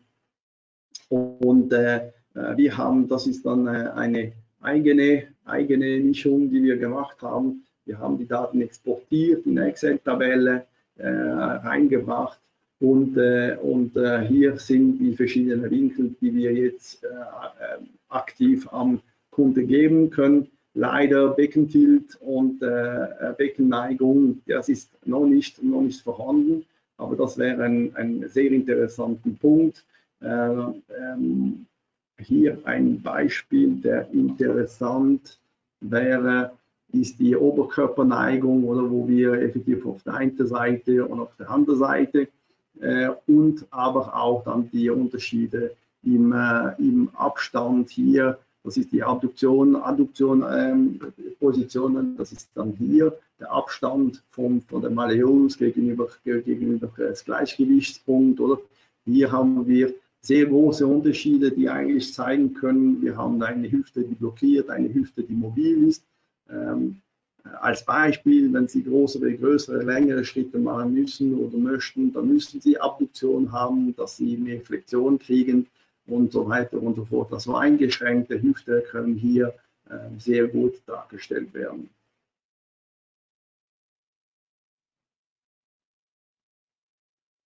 Hier dann ähm, ein Beispiel, was wir jetzt äh, mit unserer Datenbank äh, grundsätzlich ähm, aufbauen möchten. Oder wir haben Sie sehen verschiedene äh, Athleten und verschiedene Kategorien von Leuten, sei das für Orientierungslauf, Triathlon, Fußball, 100 Meter, 200 Meter Läufer, aber auch ähm, 100 Meter Hürden zum Beispiel. Wir können auf unsere Springbahn auch Hürdenaufnahmen machen. Ähm, und hier ist es sehr, sehr interessant, diese, diese Daten grundsätzlich zu vergleichen. Ne? Wo, sind, wo sind die Standphase, wo sind die verschiedene Kniewinkel. Äh, was haben die für einen Aufprallwinkel vom Fuß gegenüber Boden? Ist es ein Rückfußläufer, ist es ein Vorfußläufer? Und da können wir dann effektiv ähm, ähm, die Daten analysieren. Was wir äh, damit machen möchten, ist versuchen, so mit gewissen ähm, Berechnungen einfach herauszukristallisieren, wenn Sie ein ein Athlet, wo mit kürzeren Schritten funktioniert, was sind alle die Faktoren, die dazukommen, ne? wie muss der, der Fußwinkel sein, wie, mu wie muss das Kniewinkel sein in der verschiedenen Phase, ob da Korrelationen existieren oder nicht. Und das ist dann sehr, sehr interessant. Ähm, äh, wir haben immer mehr Daten. Wie gesagt, das sind alles Daten, die wir dann exportieren, in eine Excel-Tabelle reinbauen und damit ähm, sehr, sehr viel Information äh, kristallisieren können. Und das ist für die Evolution von der Athleten, also statt zwei verschiedene Sportarten können wir verschiedene Athleten da einbauen äh, oder der Athlet in verschiedene Zeitpunkte, wo wir effektiv seine Evolution ähm, äh, kristallisieren können. Das heißt, wenn einer auf längere Schritte laufen möchte und dann ein gewisses Trainingssystem ähm, ähm, bekommt, dann können wir hier auch die Evolution seine, seine Bewegungsfaktoren ähm, äh, anschauen.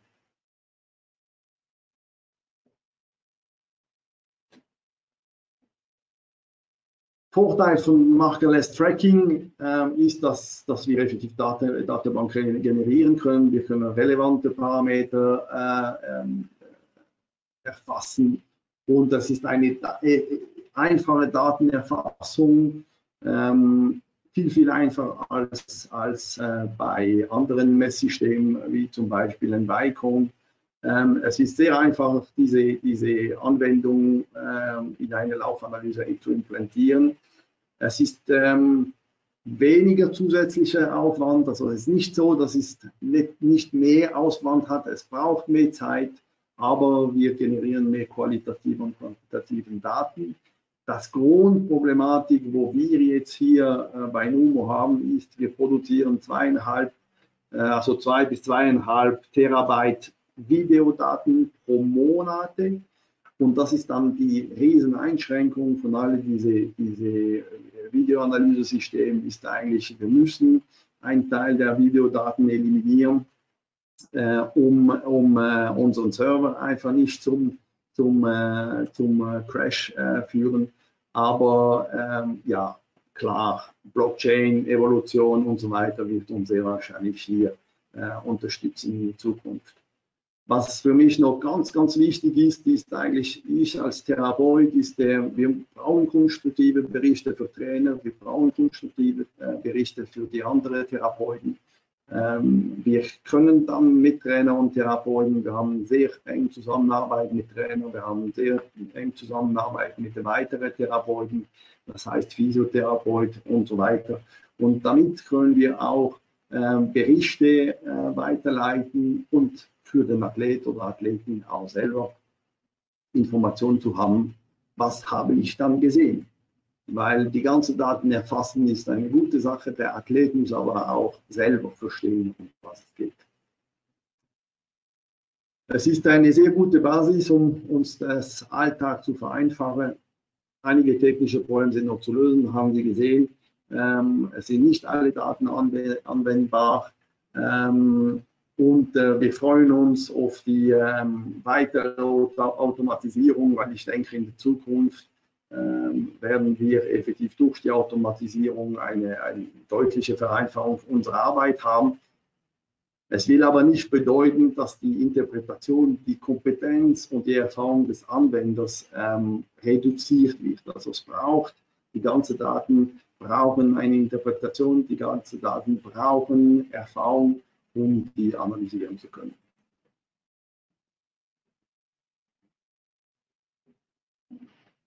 Das war meine Zusammenfassung. Ende der Präsentation. Danke vielmals. Danke, Laura. Jetzt hörst du mich wieder, nehme ich an. Ja. Sehr schön. Äh, ja, sehr spannend. Also äh, vielleicht ein, zwei Kommentare von mir. Ich denke auch, dass, dass äh, Franka da noch ein bisschen äh, Licht in, ins Dunkel bringt, äh, was das angeht. Äh, Laura, wenn du willst, kannst du nochmal deine Präsentation einfach öffnen, damit wir vielleicht zu gewissen Folien äh, noch Fragen stellen können. Ich sehe bei den Fragen äh, ich würde zuerst die Fragen stellen, die gekommen sind und dann ähm, selber ein paar Kommentare abgeben. Eine Frage ist, was denkst du von, von Fabian Stähli von der MedBase in Luzern? Was denkst du, wie sinnvoll ist die Erfassung der Daten beim Sprinter mit 12 km/h auf dem Laufband, wenn er dann in seiner Sportart mit mehr als dem Dreifachen der Geschwindigkeit unterwegs ist? Das ist klar, also wir, wir, an, an diese ganze Geschichte ist eine von der, von der wichtigsten Punkte, oder? Wir, wir, wir versuchen effektiv Daten zu erfassen, sind aber noch nicht bereit oder sind noch nicht so weit, dass wir effektiv live, also in der Hauptkondition der Athleten, ähm, Messungen zu machen. Und das ist, das ist nach wie vor ein bisschen die Einschränkung, alle diese Messsysteme. Und, ähm, und äh, aber ich denke, wir können, wenn wir, wenn wir ähm, äh, auch Indoor-Messungen machen, wir können immer näher an die, an die, an die Realität des, des Athleten äh, heranarbeiten. Aber es wird noch relativ viel Zeit brauchen, bis, das, bis, das, bis, wir, bis wir schlussendlich auf dem Feld beim Training oder beim Wettkampf äh, Daten analysieren können. Mhm. Aber ich denke, wir müssen, wir müssen voraus an die, diese ganze Geschichte arbeiten, weil es braucht Erfahrung, es braucht, wir müssen auch ähm, nach wie vor müssen wir Erfahrung sammeln und die können wir nur in vereinfachte Systemen machen, das heißt auf dem Laufband oder auf eine Indoor-Springbahn. Wir müssen Daten können reproduzieren, dass wir Evolution sehen. Also die Erfahrung, die wird nicht nur bei den Daten erfassen sein, es wird auch bei der Interpretation sein. Und, und das müssen wir in geschlossene, reproduzierbare Systeme gemacht werden, sonst werden wir uns zu wenig gute Erfahrung sammeln. Aber klar, es ist problematisch. Es repräsentiert nicht immer der Top-Moment vom Athleten im Training. Hm. Ich glaube, das, das ist sowieso eine, ein, eine Challenge, äh, wenn wir in, sage ich, Laborbedingungen arbeiten, was halt in den meisten Fällen äh, relevant ist. Ähm, ja, aber dafür können wir auf dem Laufband viele Schritte in kurzer Zeit aufnehmen, auf jeden Fall auch äh, sehr relevante Daten generieren. Also es ist spannend, was ihr da auch mit dem, äh, mit dem Excel macht. Vielleicht äh, kannst du kurz nochmal die, die Datentabelle zeigen. Äh, der Übersicht. Äh, ich, ich, möchte einfach da einen Kommentar abgeben. Äh, Franka wird dann wahrscheinlich auch noch mal was dazu sagen. Es gibt ein paar Dinge beim neuen Markerless Tracking, die auf Anfrage bei, bei uns bei Prophysics erhältlich sind. Ähm, und eines, ein Feature davon ist, dass ihr ähm, ein, ein Excel-File exportieren könnt über die kompletten Koordinaten des Markerless Tracking. Das sind, glaube ich, um die 30, 35 Körperpunkte, die im Markerless Tracking im Grundsatz erfasst werden. Es werden aber nur ein, ein Teil der Winkel wirklich äh, von, von der Software dann auch ausgegeben direkt.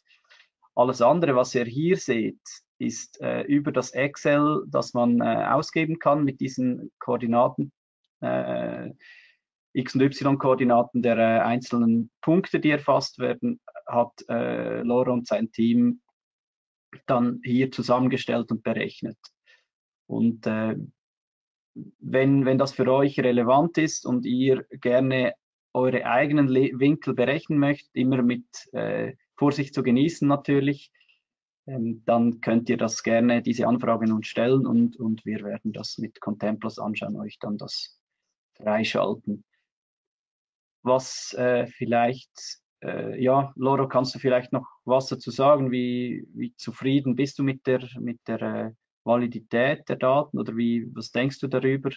Ähm, du hast ja Beckenwinkel genannt, da wissen wir, es ist aktuell noch nicht sehr genau.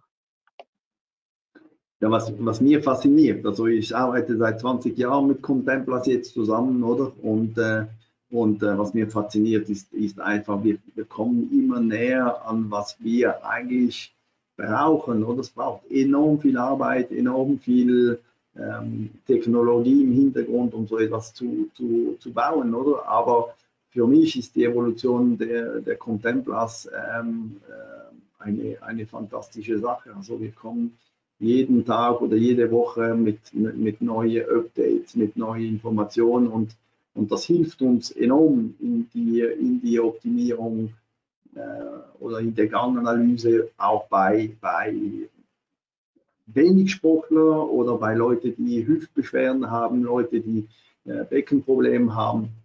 Das hilft uns und für, mich, ich könnte ohne das nicht mehr arbeiten. Also ein Einlagen bauen ohne eine Videoanalyse zu machen, das kann ich gar nicht mehr. Also das funktioniert gar nicht mehr. Ich muss einfach sehen, was die und, und da ist, ähm, ich bin von Contemplas äh, sehr zufrieden. Muss aber sagen, es braucht auch sehr viel Technologie. Es ist äh, immer ein Vorder, äh, Vordermarsch. Also wir können nicht sagen, wir kaufen jetzt ein System und dann ist es für die nächsten zehn, zehn Jahre so weit, oder? Jede drei, vier Jahre alle die neue Technologie, die bauen neue Computer, mehr, mehr Stärke, mehr, mehr Kapazität. Und das ist, ähm, aber ist motivierend. Sehr schön, ja, das ist toll. Äh, wir haben, wir haben noch ein super gutes Support-Team. Ja, genau. Also, ich glaube, wir, wir äh, liefern da auch unser Bestes, äh, vor allem da an Kränzchen winden, an unsere Supporter, äh, René und, und, und Erwin, die hören zu. Ähm, Andrea im Mutterschutz, die hört nicht zu, aber äh, nee, die, äh, die machen einen tollen Job und wir versuchen da natürlich auch äh, Contemplas den Rücken freizuhalten, damit sie möglichst sich auf die Entwicklung konzentrieren können und möglichst äh, wenig Support selber äh, machen müssen. Ähm, ich sehe gerade keine weitere Frage, aber ich hätte noch ein, zwei Dinge vielleicht zum Kommentar, was dann aber äh, sicher Franke auch noch aufzeigen wird. Der aktuelle Stand, was die Winkel betrifft. Es gibt eine Übersicht, die kann ich euch gerne zukommen lassen. Das, was ich im Moment habe, ist noch nicht final, aber es schaut so aus, dass, äh, was Laura vor allem äh, gesagt hat, dass es die Beckenachse äh, und Beckenkippung, die halt sowohl von äh, Sagittal wie auch von Dorsal nicht ideal ist. Das ist allen bewusst und das Haupt, äh, die Hauptherausforderung äh, da ist, dass die zwei SIPs, die man von hinten sieht, die zwei Punkte, die genommen werden für die Beckenachse äh, und auch äh, SIPs, der von der Seite genommen wird für die äh, äh Beckenkippung, die, die Punkte liegen auch sehr nahe beieinander und das heißt, die äh, sind dann erstens äh, eine kleine Bewegung dieser Punkte hat eine große Auswirkung und deshalb gibt es da einfach keine, äh, im Moment keine zuverlässigen Daten für diese Winkel. Äh, auf jeden Fall Schulterachse von hinten, dann auf Anfrage auch Achillessehnen und Fersen zu Bodenwinkel äh, ist vorhanden. Dann äh, haben wir von der Seite, was oft gewünscht wurde von Leuten, die Laufstilanalyse machen, den, äh, den äh, Ellbogenwinkel, diesen, äh, dieses äh, Läuferdreieck, äh, das oft in der Laufstil dann eine, eine, Rolle spielt. Oberkörperneigung, Hüftwinkel, Kniewinkel, Fußwinkel, alles sehr, ähm, sehr genau schon. ihr müsst euch vorstellen, Einerseits, das ist eine KI im Hintergrund, die halt trainiert wird. Umso mehr die trainiert wird mit verschiedensten Läufern und auch in der Ganganalyse mit, mit äh, gehenden Leuten, umso besser wird die. Und das ist ein laufender Prozess. Das heißt, mit jedem Update wird es besser. Äh, auf der anderen Seite äh, ist das, äh, könnt ihr euch das vorstellen, wie ein künstliches, künstliches Auge. Wenn ihr äh, mit Schlabberhose dasteht und einem dicken Pullover, ist werdet ihr von Auge keine exakten Punkte äh, legen können. Also wenn ihr da einen Winkel reinzeichnen müsstet, wäre das natürlich schwierig. Genauso funktio funktioniert die KI auch. Sie wird umso besser, desto äh, ja. engere, weniger Kleidung die Person anhat. Ich weiß nicht, Laura, hast du da auch Erfahrung damit gemacht? Ja, ja also wir, wir müssen effektiv sehr, sehr, sehr wenig ähm, sehr wenig angezogen sein, also mit sehr enge, enge und, und kurze Shorts und auch für Frauen sport gut anliegend, oder? Und dann haben wir die, die beste Messdaten, ne? das ist so. Und die Farbe spielt auch eine Rolle, oder? Also Ähm, schwarz ist immer, gibt immer ein bisschen weniger gute Resultate, ähm, blau ist ein bisschen besser, rot ist kein, äh, kein Problem. Aber effektiv, je enger die Bekleidung ist und wie kleiner die Bekleidung ist, dann desto besser ist es. Das ist top. Hm. Ich habe zwar die Erfahrung gemacht äh, mit Demos, die wir hier schon hatten, äh, dass wenn jemand einfach im T-Shirt, das nicht allzu weit ist und in Jeans auf dem Laufband geht oder läuft, dass jetzt die meisten Winkel schon relativ gut sind. Also nicht so, wir sprechen jetzt von, von den letzten 10 Prozent, wenn wir äh, von 100 Prozent sprechen, aber wir kommen da auch schon bei äh, Otto Normalbürger zu sehr guten Daten, ohne dass der sich jetzt in äh, Laufklamotten schmeißen muss. Äh, von, was ich noch sagen wollte, ist, wenn ihr, wenn euch die Beckenachse äh, sehr wichtig ist, die, dann äh, wäre eine Kamera von ventral, also von vorne, entscheidend, weil da nehmen wir die zwei Punkte äh, SIAS, die sind weiter auseinander und liefern deutlich bessere Daten. Also wenn Becken für euch wichtig ist, bitte äh, sicher eine zweite Kamera von vorne auch dazu nehmen, ähm, weil auch die Beinachse ist von vorne natürlich deutlich äh, am besten. Also es kommt ein bisschen darauf an, äh, was, welche Winkel für euch die wichtigsten sind. Also eigentlich, wenn, wenn man das Becken äh, optimal äh, erfassen möchte, oder müsste man äh, SIAS, müsste man auch äh, Sinusakral, also Sinne erfassen können, weil es gibt ja diese Torsionsproblematik, die wir wieder bei den, bei den Sportlern sehr viel sehen. Ne? Und nur von vorne ist, ist, ist eine gute Information, also man ist besser als gar nichts, oder? aber effektiv, das optimal wäre definitiv von vorne, von hinten und von der Seite können, können Informationen haben, dass wir auch diese Torsionsprobleme könnt, könnt lösen. Ne? Mhm, ähm, genau. Aber in Zukunft, das wird, das wird kommen. Also ich finde das irrsinnig. Ja, und spiele gerne. Wie immer, die, die eierlegende Wollmilchsau ist noch nicht erfunden. ist auch hier so natürlich. Aber äh, ja, also äh, sechs, sieben Kunden von uns arbeiten schon damit seit, seit Herbst und, und äh, machen ähnliche Erfahrungen wie Loro, haben Inputs gegeben und deshalb äh, mit der Version, die jetzt rauskommt, schon einiges sehr automatisiert.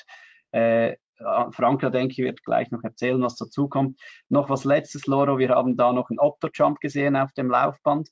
Äh, nutzt du das äh, im Moment oft oder nicht? Ich weiß, in Rheinfelden hast du das auch im Einsatz. Äh, sag mal was zu der Integration in Templo mit, mit dem äh, Opto-Jump oder Optogate.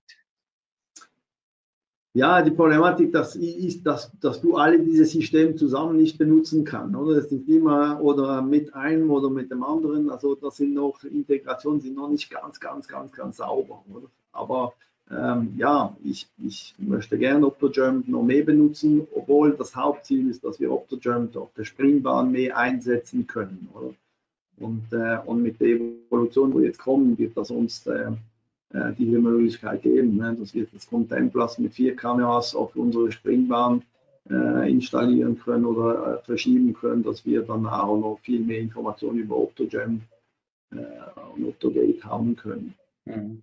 Weil grundsätzlich, also mit, mit der Athleten, mit den Spikes, oder ist, ist die, äh, sind alle die Schrittlänge, die Belastungszeit relativ, relativ wichtig, oder?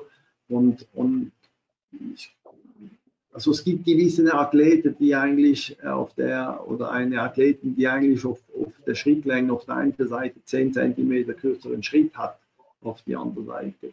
Das heißt, auf 400 Meter ist das ein Riesenunterschied, oder? Und das sind so Details, wo schlussendlich im, im Weltbereich ähm, enorme, enormen Einfluss haben, wie schnell dass man laufen kann. Und, äh, und mit dem, mit dem Optogate äh, wäre das sensationell, wenn wir das noch präziser erfassen können. Mhm. Also wir benutzen das, noch nicht ganz zufriedenstellend, weil eigentlich ähm, Integration, Integration in Contemplas ist noch nicht ganz das, was ich gerne haben möchte. Aber wir spielen gern. Sehr gut, das freut uns. Ja, vielen Dank nochmal. Ich schaue nochmal kurz äh, in die Fragen rein, ob noch was gekommen ist. Ähm, Michael Pleus von der Realklinik Bellikon fragt noch, habt ihr bereits Erfahrung mit Prothesen, Fehlbildungen und so weiter? Funktioniert die Messung auch schon?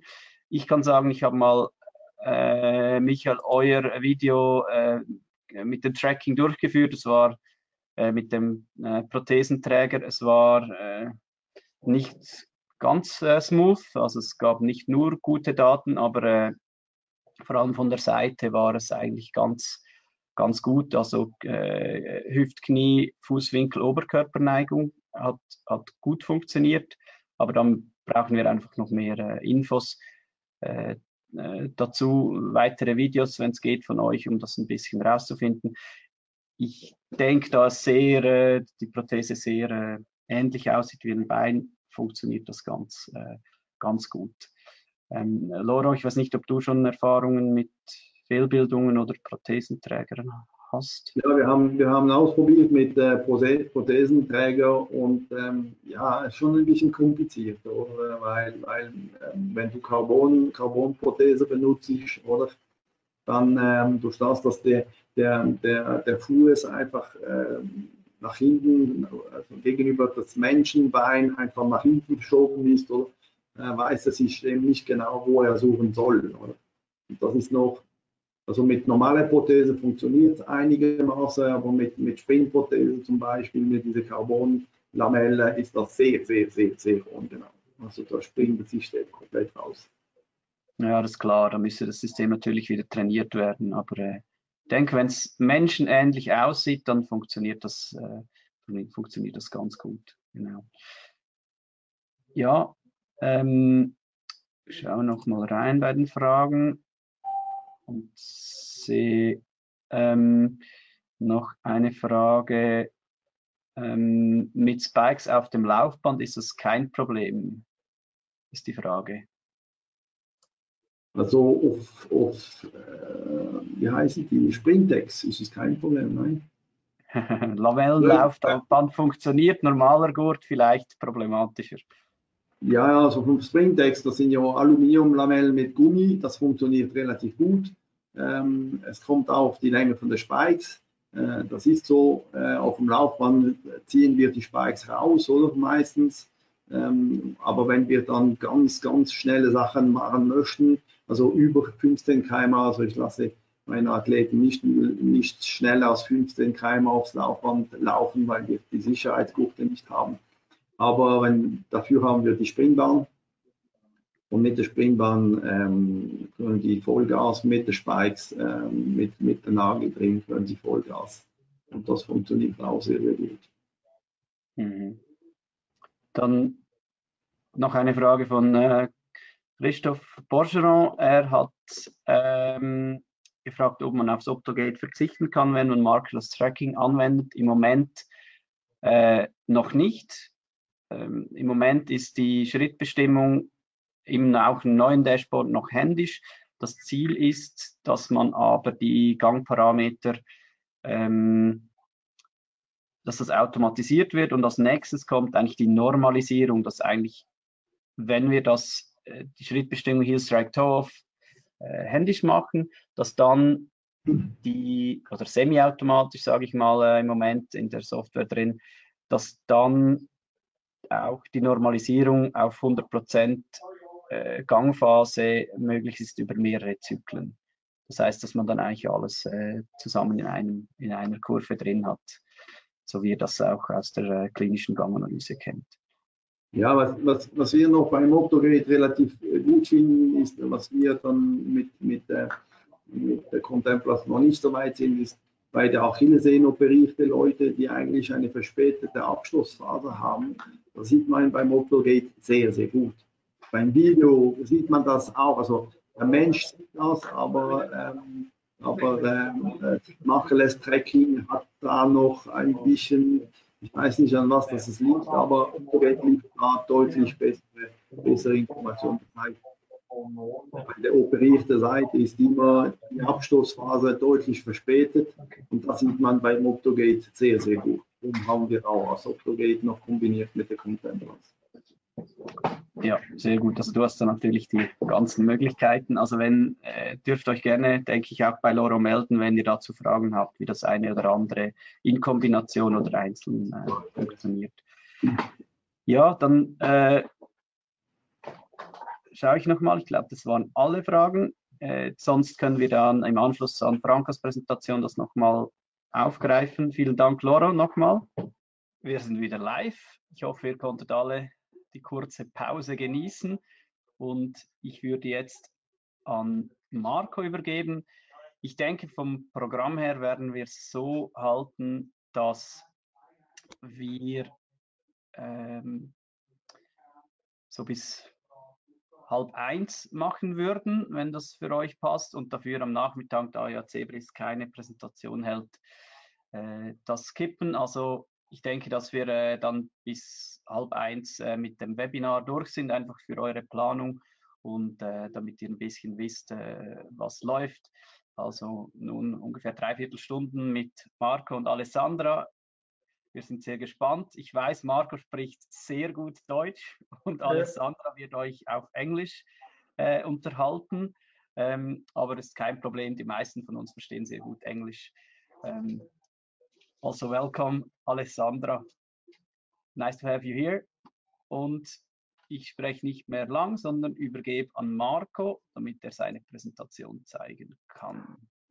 So, Marco, jetzt müsstest du die Möglichkeit haben, zu übernehmen. Sehr schön.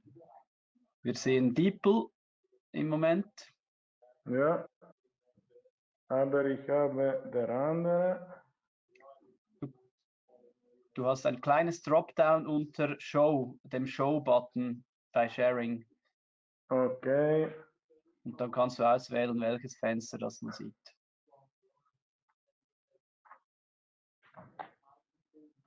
Ähm, okay, machen wir so. Ja, genau. Mm, ja. Okay, so sollte einfach äh, meine, meine Präsentation angezeigt sein, oder? Sie ist angezeigt, ganz mhm. genau. Okay, perfekt. Na, äh, vielen Dank an ProPhysics und äh, an euch alle, so die äh, dabei seid. Äh, mein Deutsch ist ziemlich schlecht, stimmt nicht, was der Rives gesagt hatte. Ich hoffe, es ist verständbar, aber im Fall, ich kann auf Italienisch oder Englisch auch antworten, wenn etwas nicht klar ist. Äh, heute sind wir äh, zu zweit von Microgate und zwar bin ich dabei. Ich bin einfach der äh, Vertriebsleiter und Product Specialist äh, für Training und äh, Medical Application. Und äh, die Alessandra hilft mir hier. sie ist unsere wissenschaftliche, wissenschaftliche Leiterin. Okay? Äh, sie ist mit uns seit zwei Jahren und sie hat äh, in letzter Zeit äh, viel gearbeitet, um die ganze Reporting von Optogate und Jaico ein bisschen zu einfacher und ein bisschen zu schöner zu machen und zu integrieren.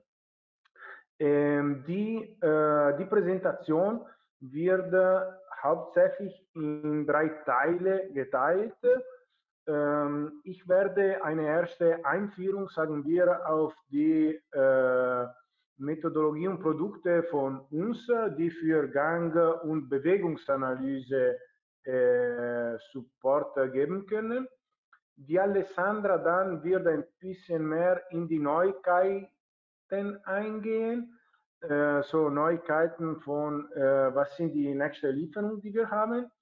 Und dann äh, für die letzte Teil wird sie einige Erfahrungen von uns äh, und einige Arbeit, äh, wo sie äh, mitgearbeitet hat, äh, die äh, interessant sein könnten für Gang- und Laufanalyse. So sehr spezifisch auf die zwei Themen der Tage. Ähm, okay. Äh, das ist etwas, das äh, vielleicht wer uns kennt und wer auf andere äh, Webinar teilgenommen hat, schon gesehen hat.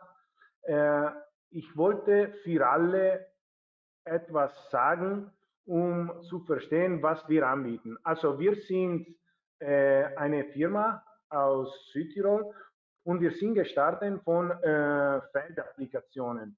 Was heißt, dass wir alle Geräte, die wir gedacht und entwickelt haben, sind vom Feld ausgekommen, so äh, vom äh, Trainings, äh, Training, Tra äh, Trainingsarbeit. Okay?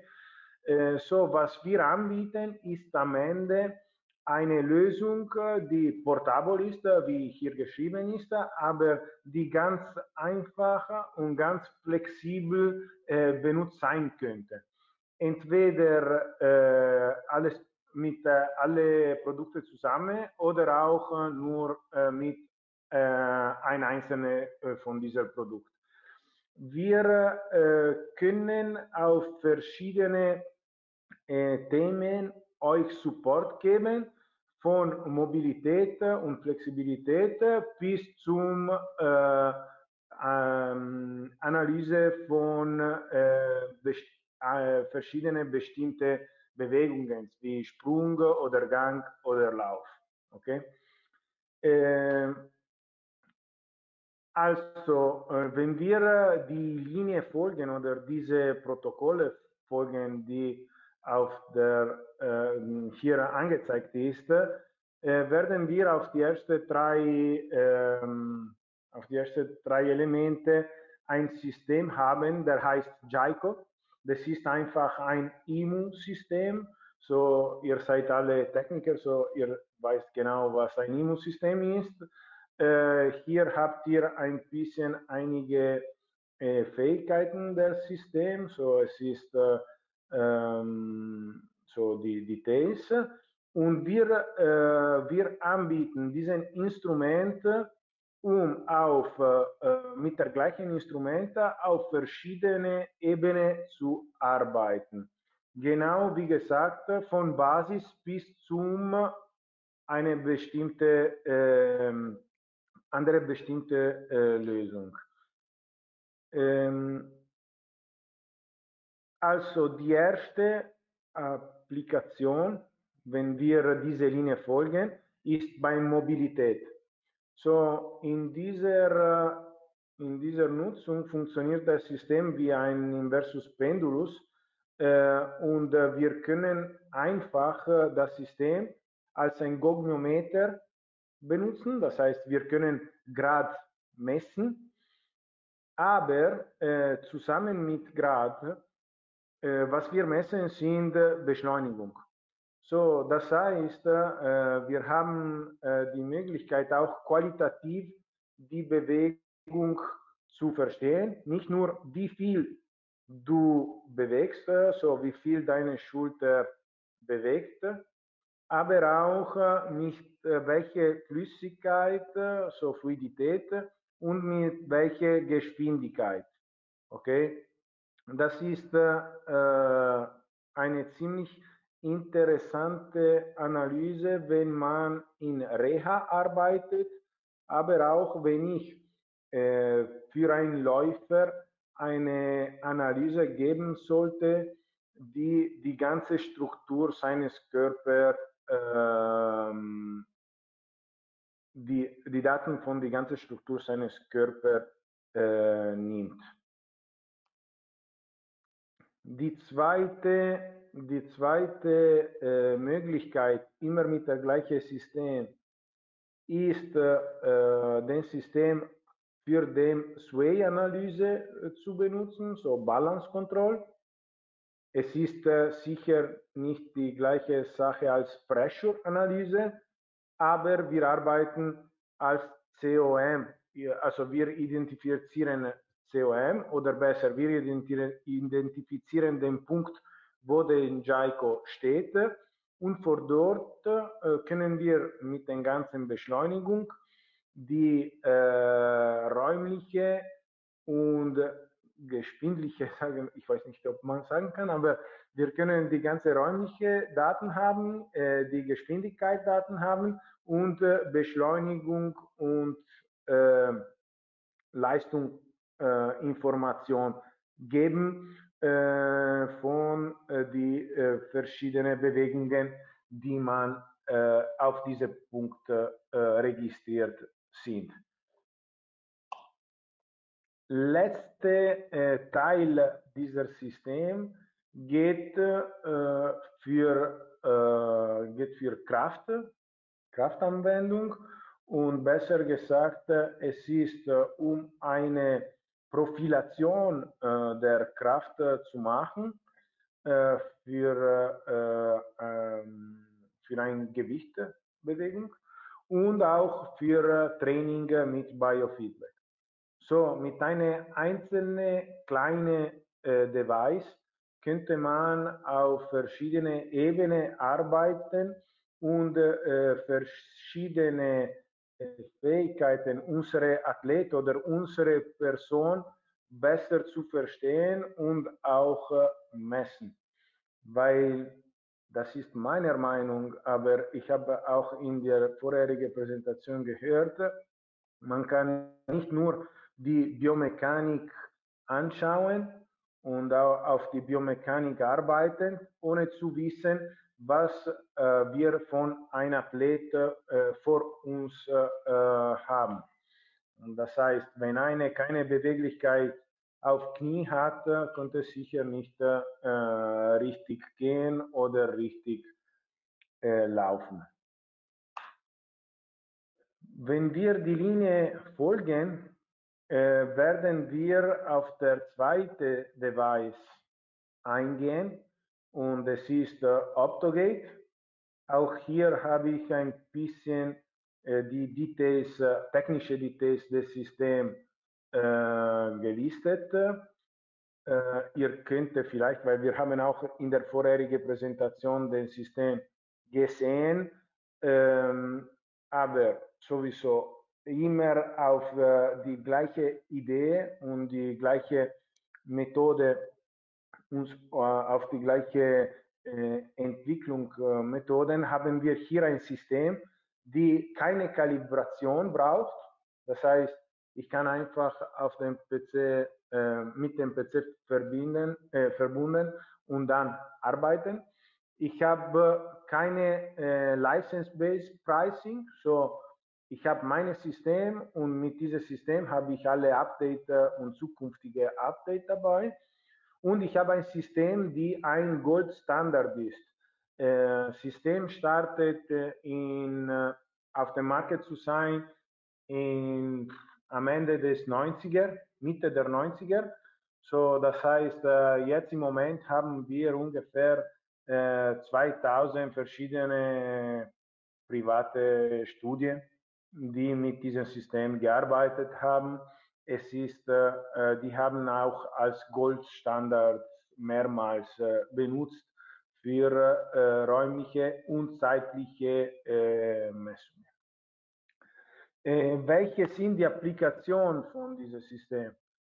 Also es ist ganz flexibel. Vielleicht kann ich sagen, das ist einer der mehr erfolgreiche Systeme, die wir haben speziellerweise, weil es ganz einfach und ganz schnell zu benutzen ist.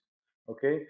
Ich habe hier ein paar Fotos äh, von äh, verschiedenen Erfahrungen, so von äh, Studien von Ganganalyse von Kindern mit Gewicht auf dem Rücken bis zum äh, Laufanalyse, bis zum Beispiel äh, ganz äh, recht in der Mitte eine Universität Universität äh, Anwendung, wo das System mit dem Bicon oder mit äh, Qualisys zum Beispiel äh, integriert wurde und äh, auch äh, unten in der Mitte eine Lösung, äh, wo das System als Foot Switch benutzt wurde und mit einem Elektromyographiesystem verbunden wurde.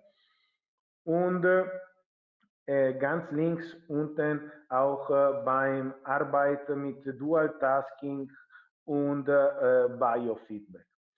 Die Bewegungen, die wir hier sehen, sind nicht alle, aber ich habe probiert ein bisschen die verschiedenen Möglichkeiten äh, zu listen. So, wie gesagt, Gang, Lauf, äh, Lauf auf dem Laufband, ähm, Gehen auf dem Laufband und äh, Sprung und äh, Richtungswechsel wie beim äh, letzte, letzte Fotos ganz unten. Äh, was kommt äh, von Optogate äh, draußen als Nummer? Ähm, am Ende, äh, ganz einfach zu sagen, wir messen äh, räumliche und zeitliche Daten direkt.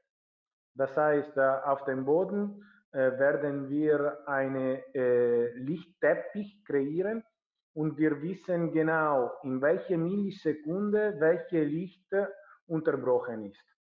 Äh, von dieser äh, Information, die wir direkt messen, können wir verschiedene Parameter äh, kalkulieren und verschiedene Parameter anzeigen.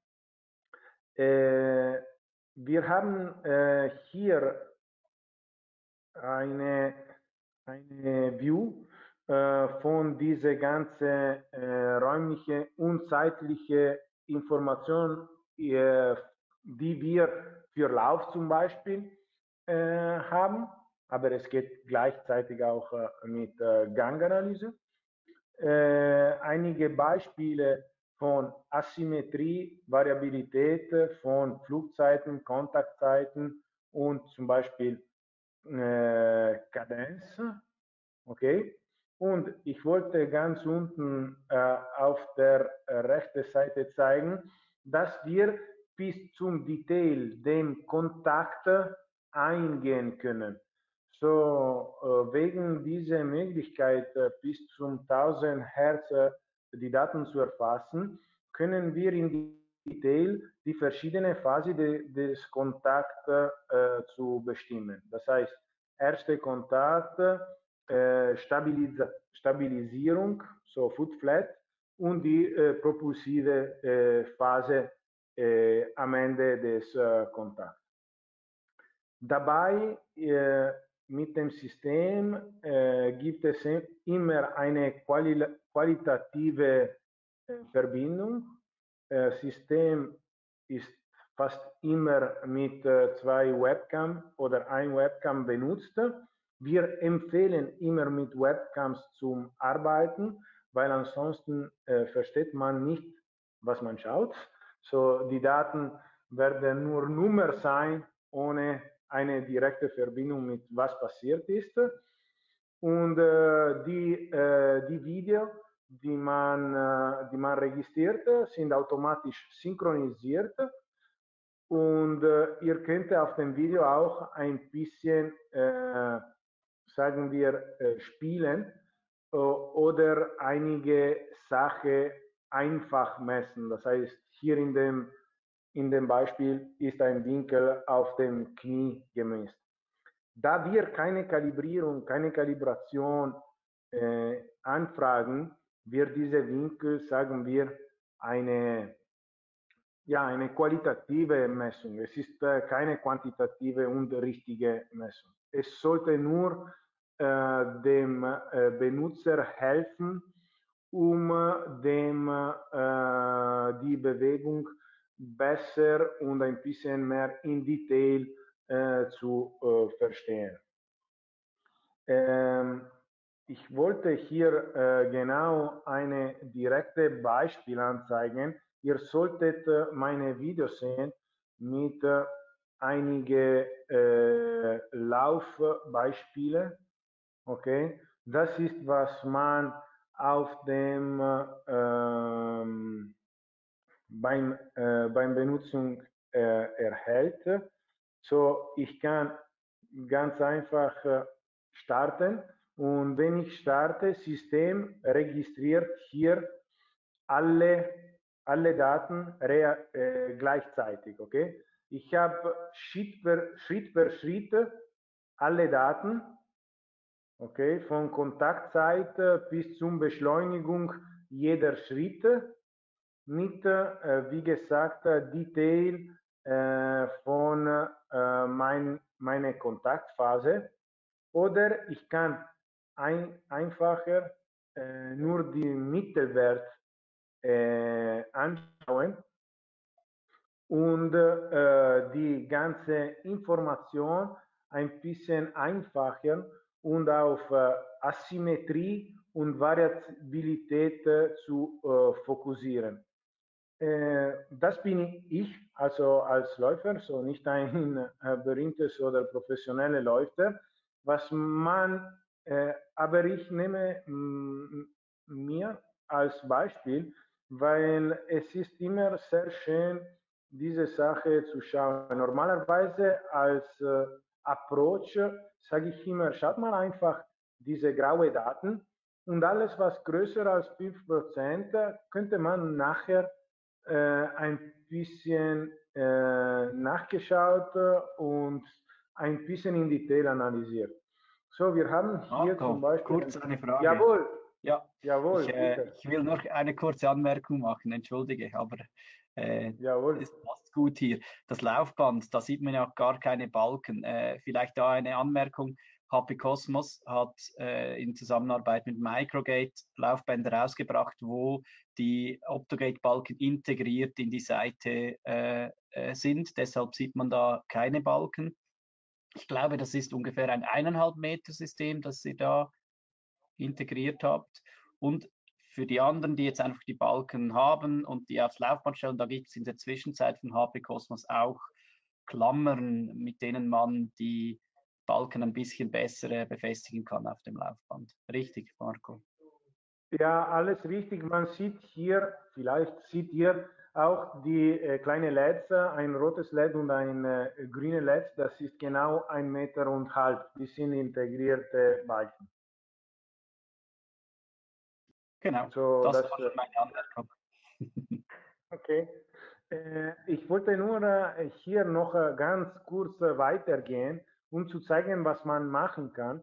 Weil wenn ich diese 8.1% äh, Asymmetrie sehe, ich kann, ich weiß nicht, ich mache nur ein Beispiel, okay? Ich, mal, ich kann mir nur einen Marker hier setzen. Das heißt, okay, das ist meine rechte oder linke, linke Seite. Okay, ich kann als Overlay setzen. Das heißt, ich habe hier immer meine Linie und ich kann langsam weitergehen bis dem anderen. Und ich kann verstehen, warum diese 8% Verschiedenheit in äh, zeitliche Verschiedenheit als Flugzeit auskommt.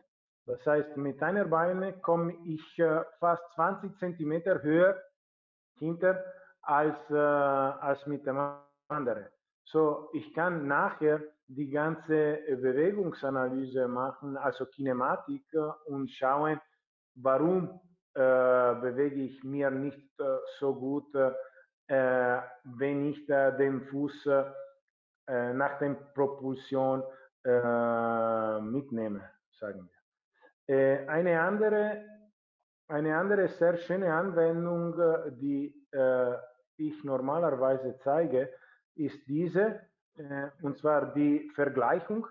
Man kann ziemlich einfach verschiedene Tests vergleichen, ohne, ohne, ohne Schuhe, mit Schuhe oder mit äh, verschiedenen äh, Geschwindigkeit oder vielleicht in zwei verschiedene Momente. So, ich habe Test 1, Test 2, beide als Mittelwert und die Differenz zwischen die zwei Testen. So, und ich kann alles ausdrucken, genau. Und äh, die letzte Sache, dass ich sehr, sehr mag, ist, wenn ich eine Inkrementaltest, äh, genauso bei, äh, wie ich mein äh, Metabolikanalyse machen oder VO2-Max-Analyse, kann ich auch äh, meine biomechanische äh, Analyse machen, äh, sodass ich äh, sehen kann, wo den Biomechanik äh, Zielpunkte gibt, äh, sagen wir, von meinem Athlet. Zum Beispiel hier habe ich meine Kontaktzeiten. Okay, wir haben gesagt, die sind vier verschiedene Tests von 12 bis 17.5 kmh und Kontaktzeiten werden immer kleiner sein. In Theorie, es ist immer so, wenn ich schneller gehe, sollten die Kontaktzeiten immer kleiner sein, aber es geht bis dem Moment, wo ich dem äh, Bewegungsmodell ändern sollte.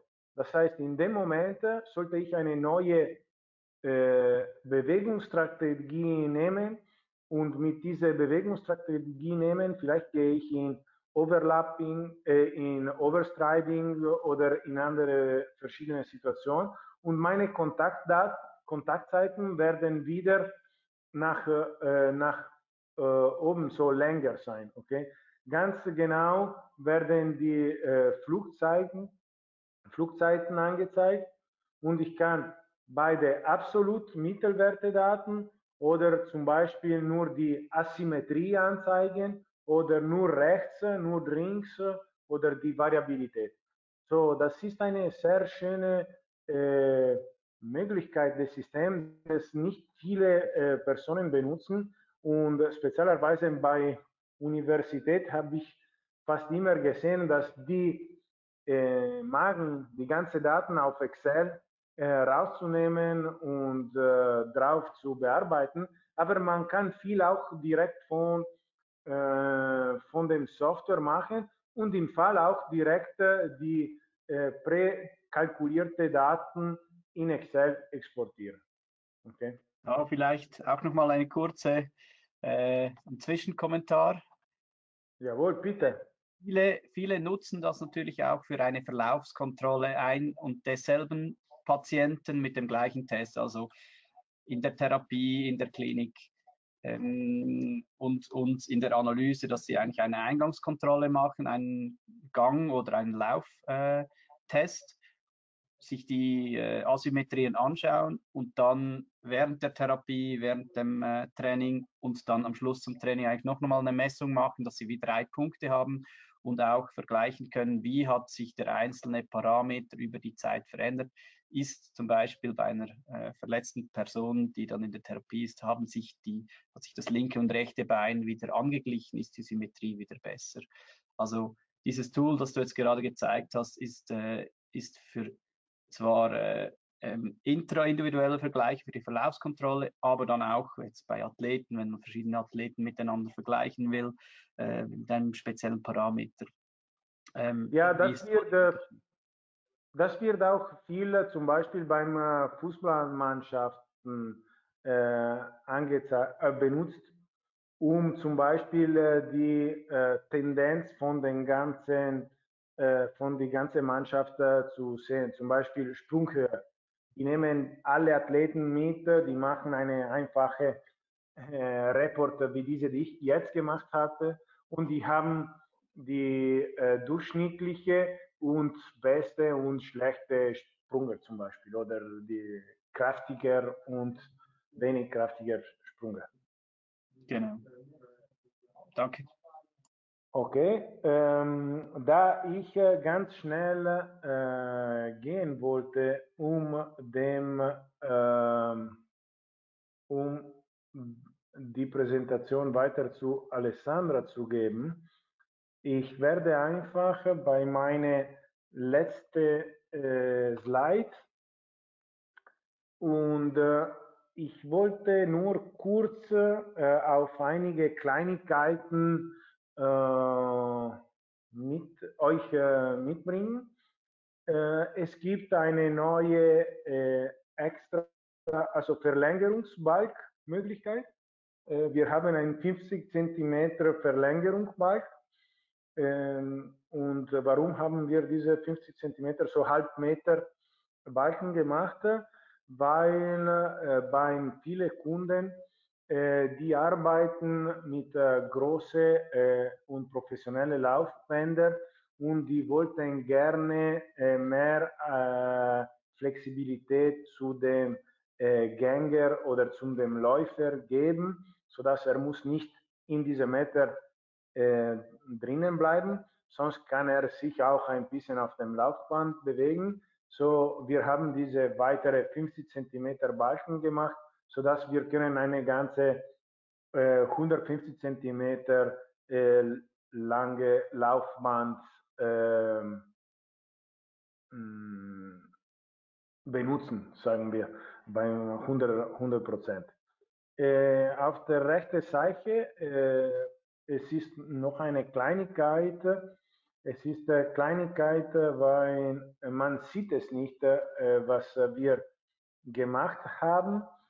Äh, und zwar, wir haben die ganze äh, Palette von äh, Portable Devices von Witty, Witty Sam und Jaiko mit einem neuen Bluetooth-Module erneut. Das heißt, drinnen gibt es eine neue Bluetooth-Module und das hat uns die Möglichkeit gegeben, äh, bei eine mobile Tablet-basierte Lösung zu gehen. Die neue App wird mit äh, zwischen September und, und, Oktober 2021 äh, auf den Markt äh, gebracht, aber äh, alle Geräte, äh, die von, sagen wir, die letzten Geräte, die sind alle mit dem neuen Modul ähm, dabei. Okay, so das ist äh, nur äh, für eine generelle Infos. Äh, also wenn für mich keine weitere äh, Frage gibt, äh, sage die Alessandra wird jetzt ein bisschen auf die Neuigkeiten von äh, Software und von Integration zwischen Jaiko und Optogate weitergehen und nachher mit der äh, nächsten Them äh, Thema, das heißt äh, die Erfahrungen, sagen wir, die wir gehabt haben, also wissenschaftliche Erfahrungen.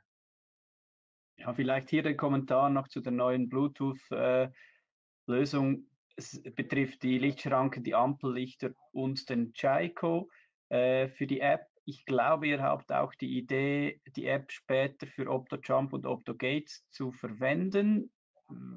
Wie sind da, wie ist da der Entwicklungsstand? Also im Moment nicht.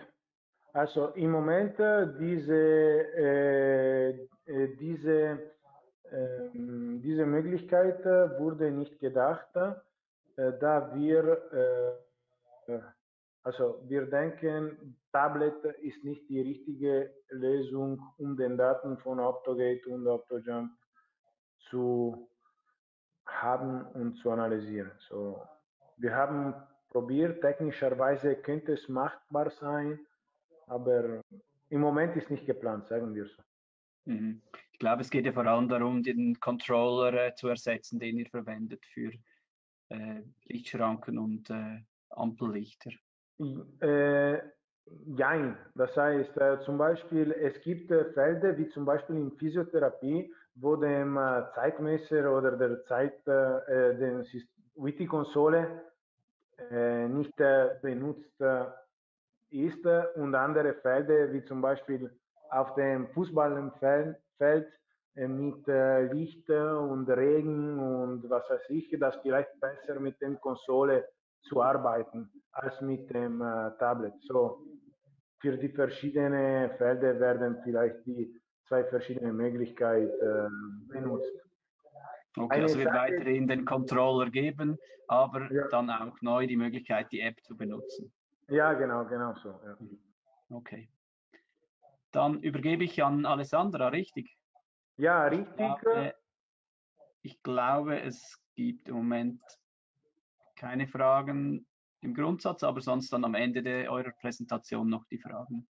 Genau. Okay, ich kann die verschiedenen Slides auch selber äh, direkt von meiner Präsentation weitergehen und die Alessandra kann drauf sprechen. Äh, ja, sie wird auf Englisch äh, reden. Also kein Problem. Mein Englisch ist besser als mein Deutsch. So. Ja. Ha, hallo, ich lerne Deutsch, aber ich spreche noch kein Deutsch. Uh, so I'm going to speak English because it's much easier for me. I, am really trying to learn Deutsch, but it's going to take time, I guess. So uh, in this first slides, I'm going to show you some of the new parameters we added to the report of running and walking if you use uh, Jaiko together. So uh, this first slide basically show the postural parameters that you can now get when you use Zyco. Uh, you can place the Zyco on the on the waistline with a belt, uh, or you can use uh, an harness and then uh, put it on the trunk. As you see, you can have multiple parameters. you can have the area of motion, uh, the, uh, the length of the movement in uh, the anterior posterior direction and in the mediolateral direction. And then we have also tried to add some information about the obliquity and the tilt angle during walking and running. Uh, but we are still in the process to uh, verify this data. So uh, we are actually now collecting some data and that's why I'm not with Marco today, but I'm at the University of Verona where we can use their biomechanical lab to do all the validation of JICO. you can move on the next slide, I think. Uh, so uh, in the running report uh, is the report where we added more parameters. Uh, one of these uh, is the duty factor that uh, you will be able to find below the list of temporal parameters. this is because usually when you evaluate a runner, what you want to see is a short contact time uh, because uh, in the scientific literature they have demonstrated that uh, if you have a shorter contact time then it means that you have a better running economy but the problem is that sometimes contact time is, of course, dependent also on speed, like Marco was saying before. Usually, uh, if you run uh, faster, then you have uh, a smaller contact time. Uh, instead, the duty factor uh, is uh, the percentage of the total time between steps or strides that the foot is on the ground. And so this, in some way, uh, is a bit less dependent on the, the actual running speed, and that's why uh, we have added it uh, on the on the report and also because uh, there are actually a lot of papers talking about that parameters now. Other parameters that we added are these three that you can see here, the elevation, uh, the alpha angle and the vertical stiffness. Uh, elevation uh, basically represent the vertical oscillation of the center of mass during running uh, and uh, this one is useful to evaluate again the economy uh, of running because of course when you run um, your purpose is to move forward and so you want to keep this elevation as small as possible. Uh, then uh, we also uh, added other two parameters, the alpha angle that in some way is related to this elevation parameter. Uh, because basically uh, we computed uh, just starting from it and um, if you can, you can move to the next slide, but you can see it also from here, I think. Uh, so uh, we basically define it as the angle between uh, the, the, the, tangent that is created from an arc drawn from the contact on one foot to the contact on the, the other foot. And that uh, angle uh, is uh, negatively correlated again with the economy at every speed. we found a lot of literature about these parameters. That's why we decided to add it. And finally, we also add the vertical uh, stiffness. Um, this because when you talk about uh, uh, gait, both in walking and running, you can model the human body as basically as a spring. And so um, when you basically uh, model something as a spring, you need, of course, to find the coefficient of elasticity of the spring. And so this vertical stiffness, stiffness is basically this uh, uh, elasticity constant. Um, and those, uh, uh, we also added uh, these parameters uh, because if you have a good vertical stiffness, then it means that you can uh, uh, use in a good way your energy and your elastic energy while running. So increasing your speed and having um, a better metabolic metabolic rate. So again, also this constant is correlated with the running economy. Uh, you can move on. Okay, finally, uh, we added this part of the report that is basically the most, uh, uh the biggest change we did. Uh, and this is the result of uh, a study that I did um, in microgate since when I arrived. Uh, basically, the question was that if it was possible to find a correlation between the, um, the data from a force platform, so the ground reaction force, in particular the vertical component, and uh, the data from uh, the accelerometer, so in this case, uh, the, the JICO. And uh, the question uh, was important because, of course, the best scenario is that if you can use uh, a treadmill or uh, a lab where you can run uh, on force platform or force sensor, then is the best possibility you have because you can evaluate the impact. But of course, it's not the case for everybody. So we know that when you evaluate the, the vertical component of the ground reaction force, there are some typical parameters that are more or less uh, always present. Uh, usually there are two peaks, uh, but actually it depends on the way you strike the ground, but then we are going to see it later. And uh, we basically uh, tried to collect some data uh, to see if it was possible to get more or less the same, not the same, but something that was similar from what you can get from the uh, from the ground reaction force.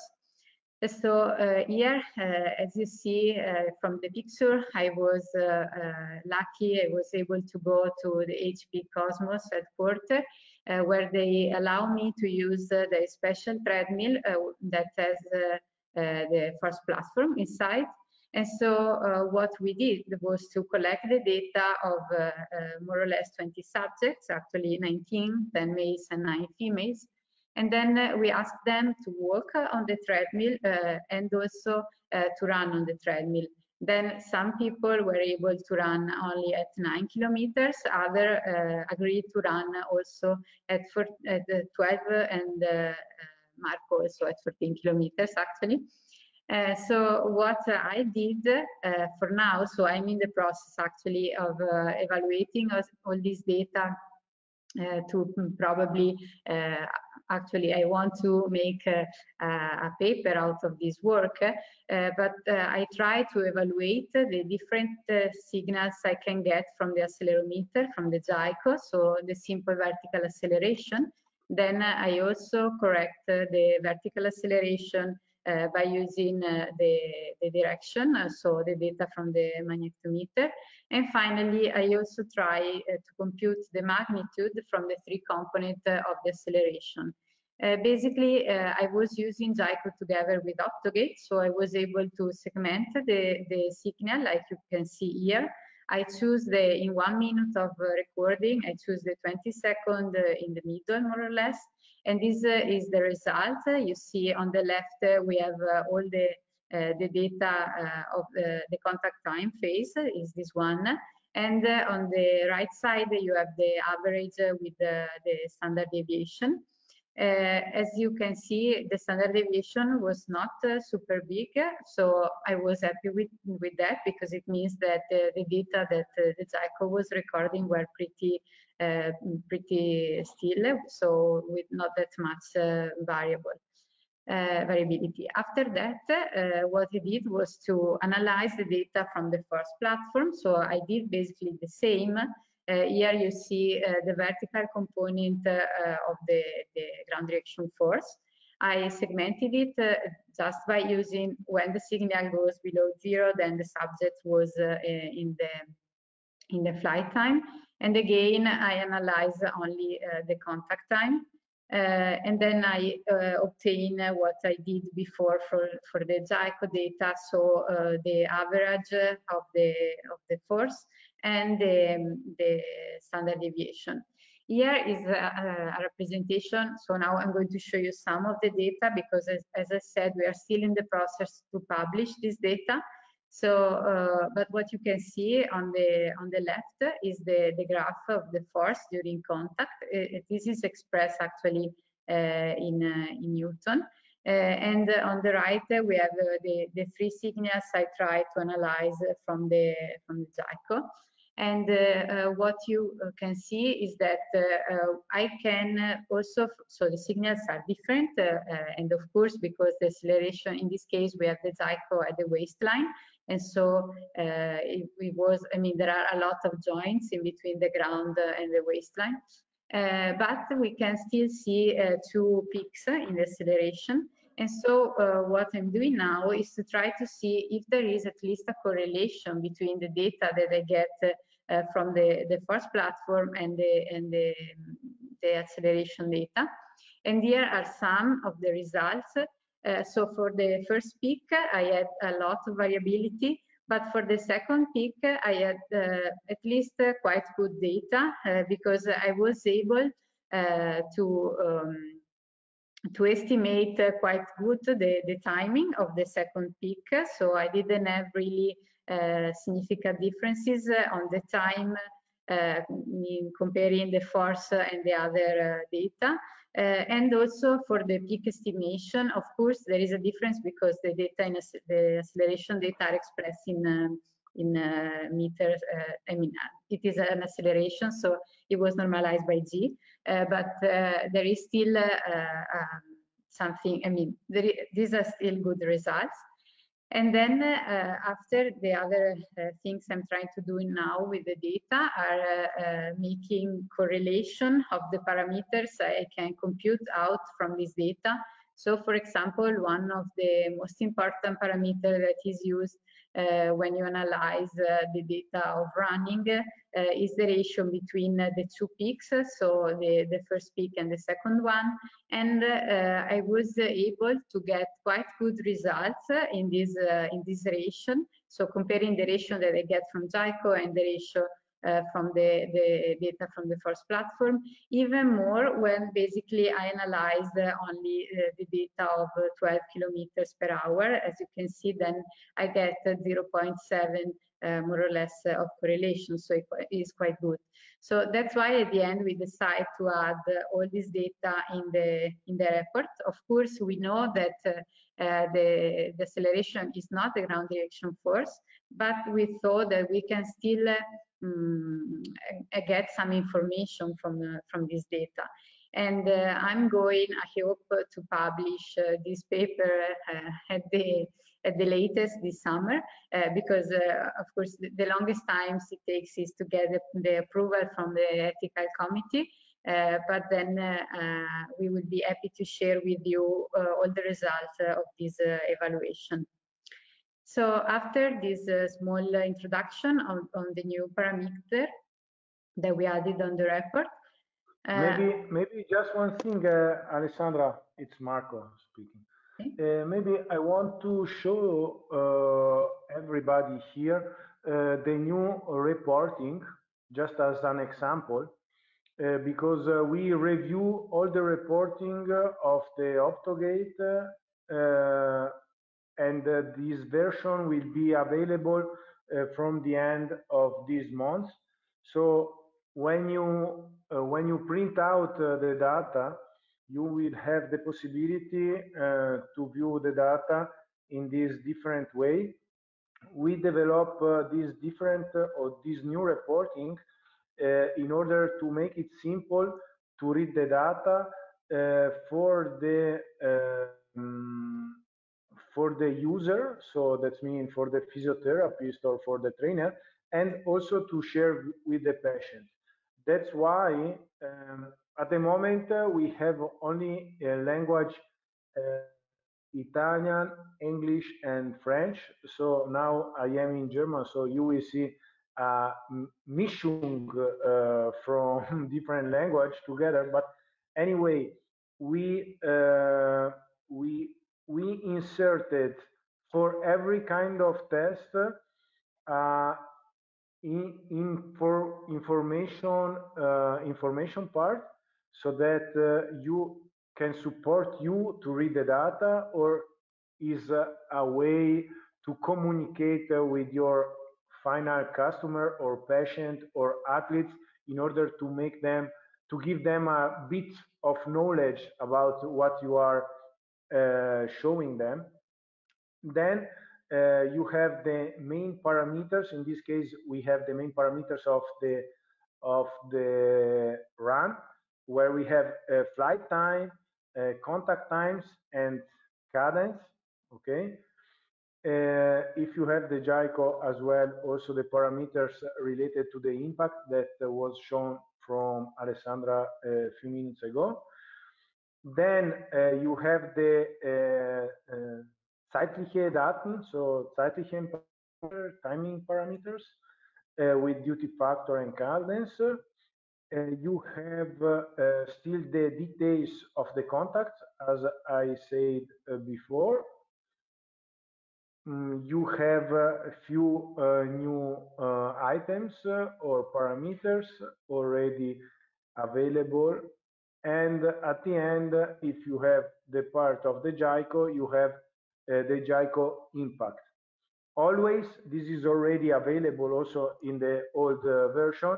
If you saved uh, some pictures uh, or if you put some information and you write something uh, related to the single picture, then you can add on the report uh, like I did in this case.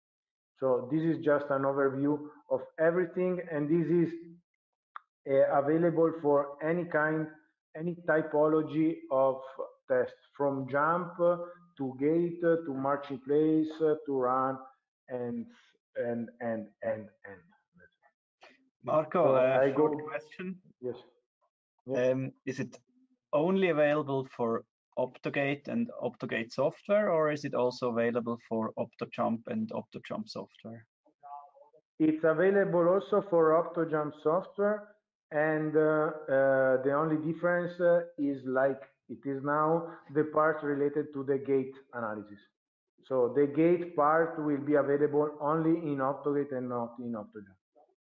Okay, so if you, for example, uh, Loro, uh, who presented uh, today, has an OptoJump, can he use the Yes. OptoGate software and the, the JICO uh, to also get the, all gate uh, parameters? No, no, they use the OptoJump software. They will never uh, have access to the gate parameters, but uh, all the reporting will be new as well if they want.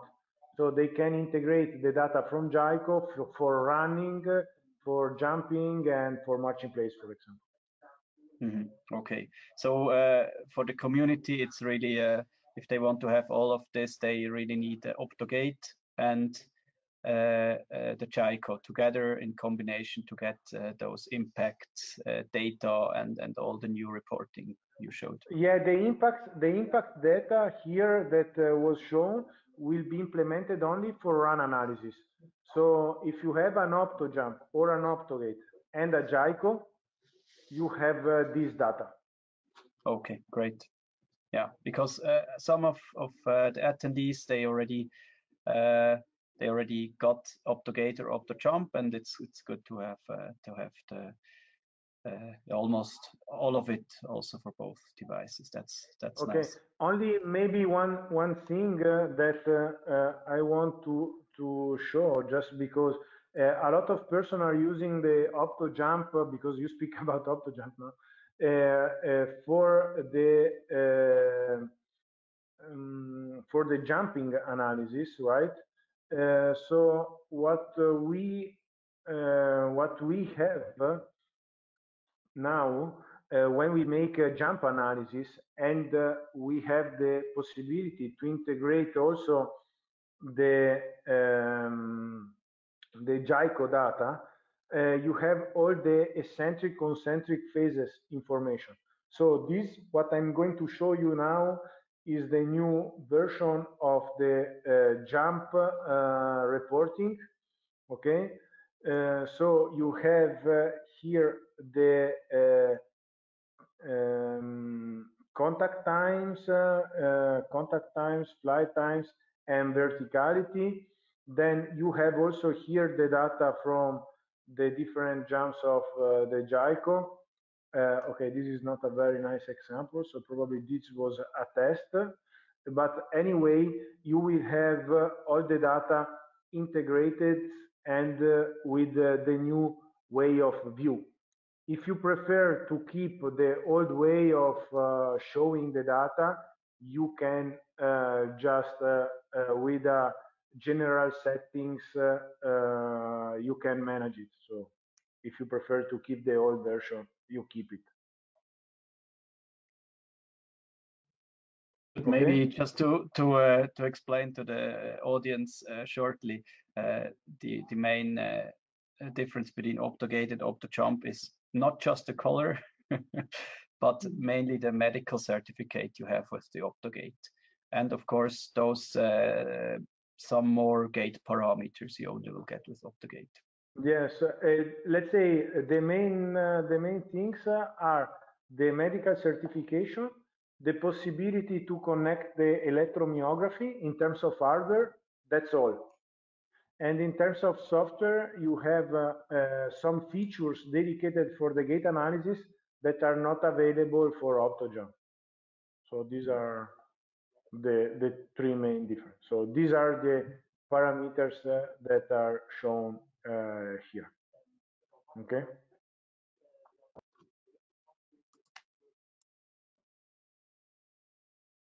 Okay, I give uh, back uh, the uh, the word to uh, Alessandra. Sorry, Alessandra, for the interruption. No, it's okay. It's just, I'm not sure about how much time I still have to talk about. So now I'm going to start with a practical example of how uh, you can use the data of running analysis, I mean, the instrumentation for a running analysis. And then if I have still time, I will show you a case study on walking. Uh, but now uh, for the running analysis, uh, I, I, thought about uh, using an example. Uh, so um, we know that now a lot of people are going running, apart from if you are in a lockdown, but uh, otherwise, since uh, all the gyms, everything is closed, then running is the easiest uh, thing to do. Uh, but actually, injuries in runners are extremely common. So if you have a look uh, at the data, like uh, scientifically speaking, so if you have a look uh, of what you can find in the scientific literature. There are a lot of papers about injuries and the rates uh, are really different. So they goes from 1.4 to 94.4 percent. So you can find a lot of different information that can that might be confusing, but usually it's because there are different definition of injury, there are different methods of assessment. Uh, and also uh, there are different runners, of course, there are amateur or uh, athletes that are running. Uh, but what we know, of course, is that usually new runners uh, are more prone to, uh, to injuries. so Uh, you can uh, move uh, on the next slide. so what you want to do when you uh, have an injury is to uh, evaluate uh, um, the, the, biomechanical aspect usually of, of the, the, athlete, of the subject that's injured. the most typical, this slide is just to show you which are the most typical injuries that are affecting runners. So usually like uh, the most important is uh, on the knee. Uh, most runners that have problems um, are related to the patellofemoral syndrome. otherwise, other common problems are plantar fasciitis or medial tibial stress syndrome, injuries of the gluteus medius, but then of course there are a lot of different possibilities.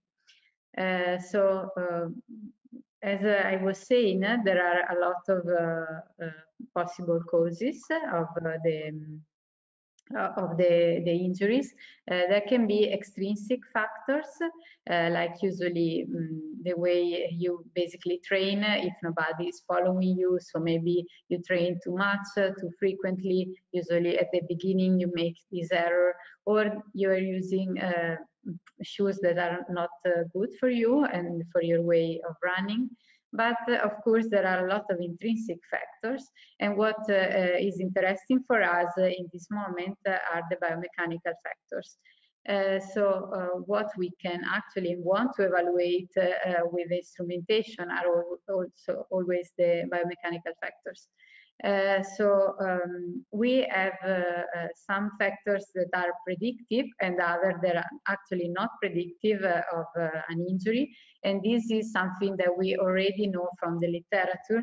For example, we know, I'm not going really deep in this, in this um, thing, but we know that the female sex, the people, the females are actually more subjected to injuries than the males.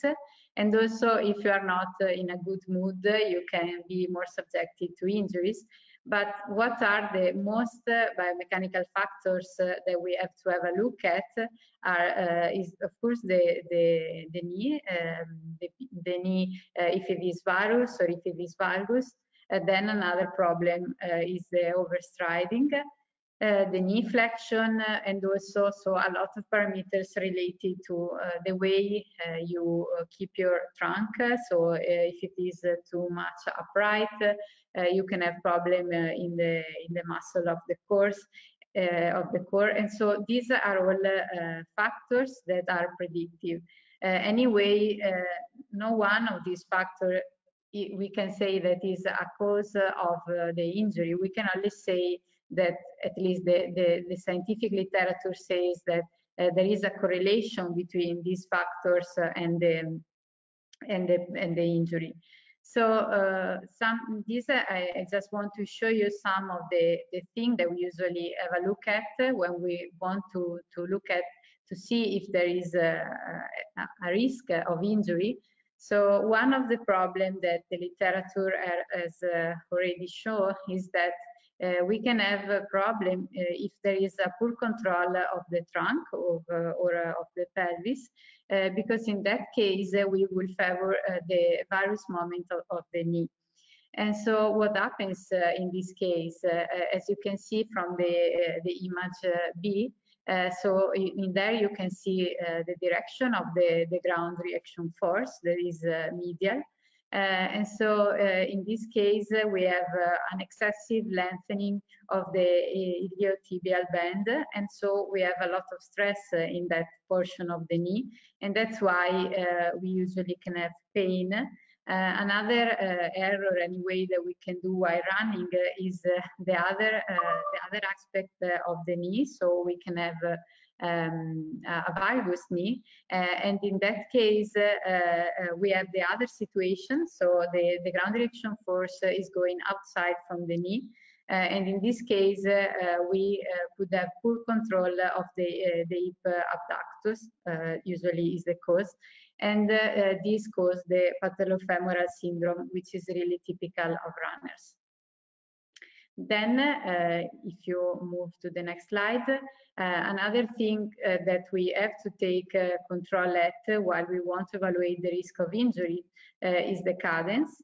Uh, this actually is related to the phenomenon of overstride because usually we want to increase the, the cadence at the same speed uh, because if we increase the cadence, this uh, basically reduce the um, the load that we apply uh, on the on the foot.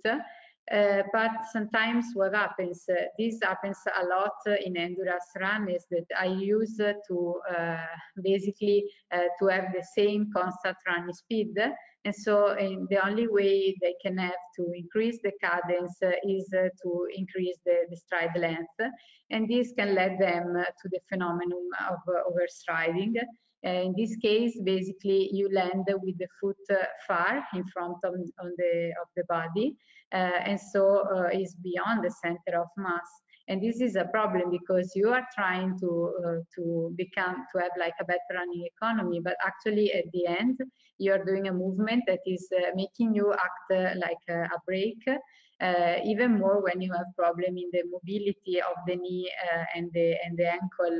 And also uh, it can add it can cause injuries because if you if you land with the foot in, in that position then you have an higher impact with the ground Uh, and this uh, led, uh, lead us to the next slide. Uh, this is what I was talking about before. Before uh, on the on the right, on the upper part of the presentation, you can see the the graph of the vertical component on the ground reaction force on of a heel to runner and of a four forefoot midfoot striking.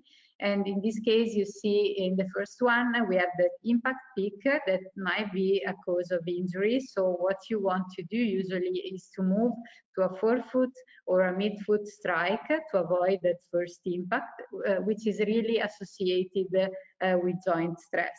And another thing that has been proven in literature to significantly significantly reduce the, the stress on the knee is uh, to basically uh, move your trunk a little bit forward. So uh, flexing it like around eight degrees.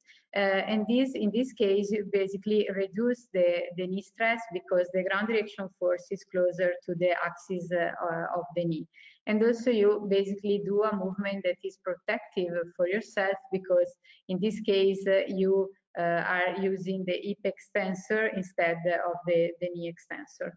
So um, like um, uh, if you want to summarize uh, all of the possible causes of injuries, of course these are not all, but I wanted to be uh, to be quick.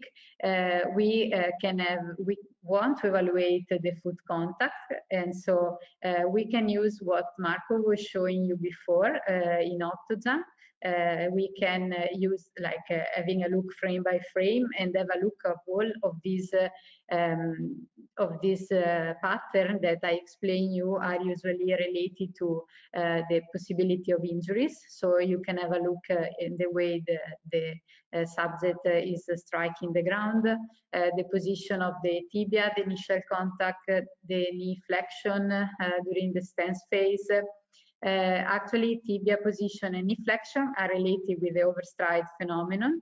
And the overstride, you can really easily uh, see it by using uh, uh the Optojam or Optogate. In this case, uh, I put the Optogate, the Optogate image, but it's really the same by using Optojam.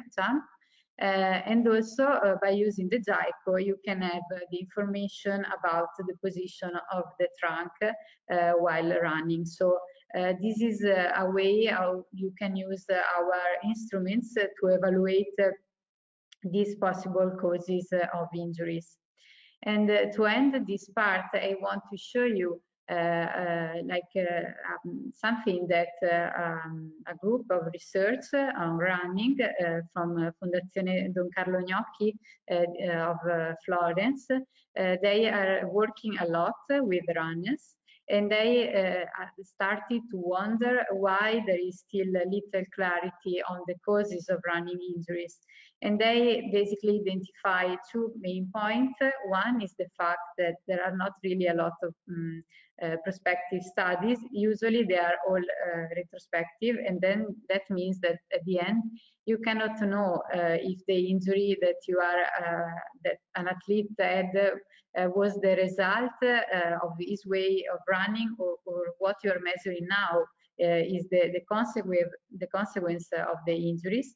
And then also because there are not so many studies that are really uh, gesture uh, specific. Uh, for example, usually studies don't um, really, at least they say something, but don't really explain the difference between running on the treadmill or over ground, or what happens when you are actually in a fatigue condition, because usually endurance runner can run uh, for hour, hour, but when we evaluate them in the lab, it's just for two minutes and they are not tired as much as in a normal running. So uh, what they did was basically to try to have an answer of these two, uh, two questions. And they uh, made this uh, huge study with 120 amateur runners. And they basically want to evaluate uh, if there is a, a, possibility to find the injury, uh, what is a predictor of a, a injury and they decided to evaluate a lot of possibility. So they uh, actually collect data uh, about the training habits and also of course uh, they uh, have a questionnaire uh, to ask if the people uh, got injury in the in the month of the study. Then they evaluate the joint trauma the flexibility of the main districts.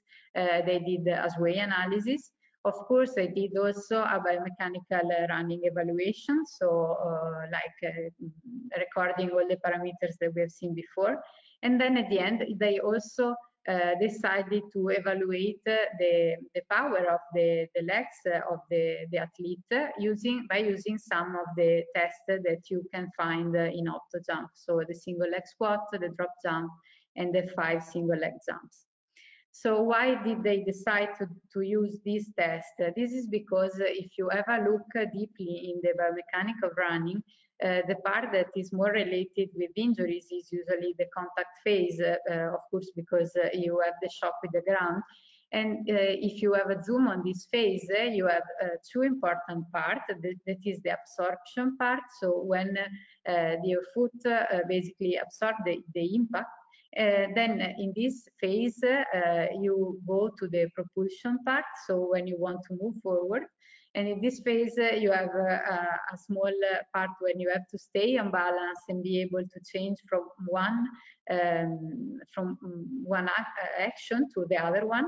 And so if we divide uh, this contact time in these three phases, basically, you can evaluate each of them separately. Uh, but you, you can have an idea, uh, for example, if you see uh, you, you can evaluate the power and the strength of the lower limb to evaluate the propulsion phase by using JICO and OptoJump to evaluate the jumps. You can evaluate the balance on the ability of balance on one single leg by doing a sway analysis with JICO. And then again, you can evaluate the foot impact uh, and the running pattern by using OptoGate and the, and the webcam. So uh, the study the Dognocchi did was uh, was finally ended, and uh, now they are basically starting to to do some uh, analysis on the data. And the first thing they found uh, is that no one of the elements that they evaluated, if considered by itself, was correlated directly to an increased risk of injury.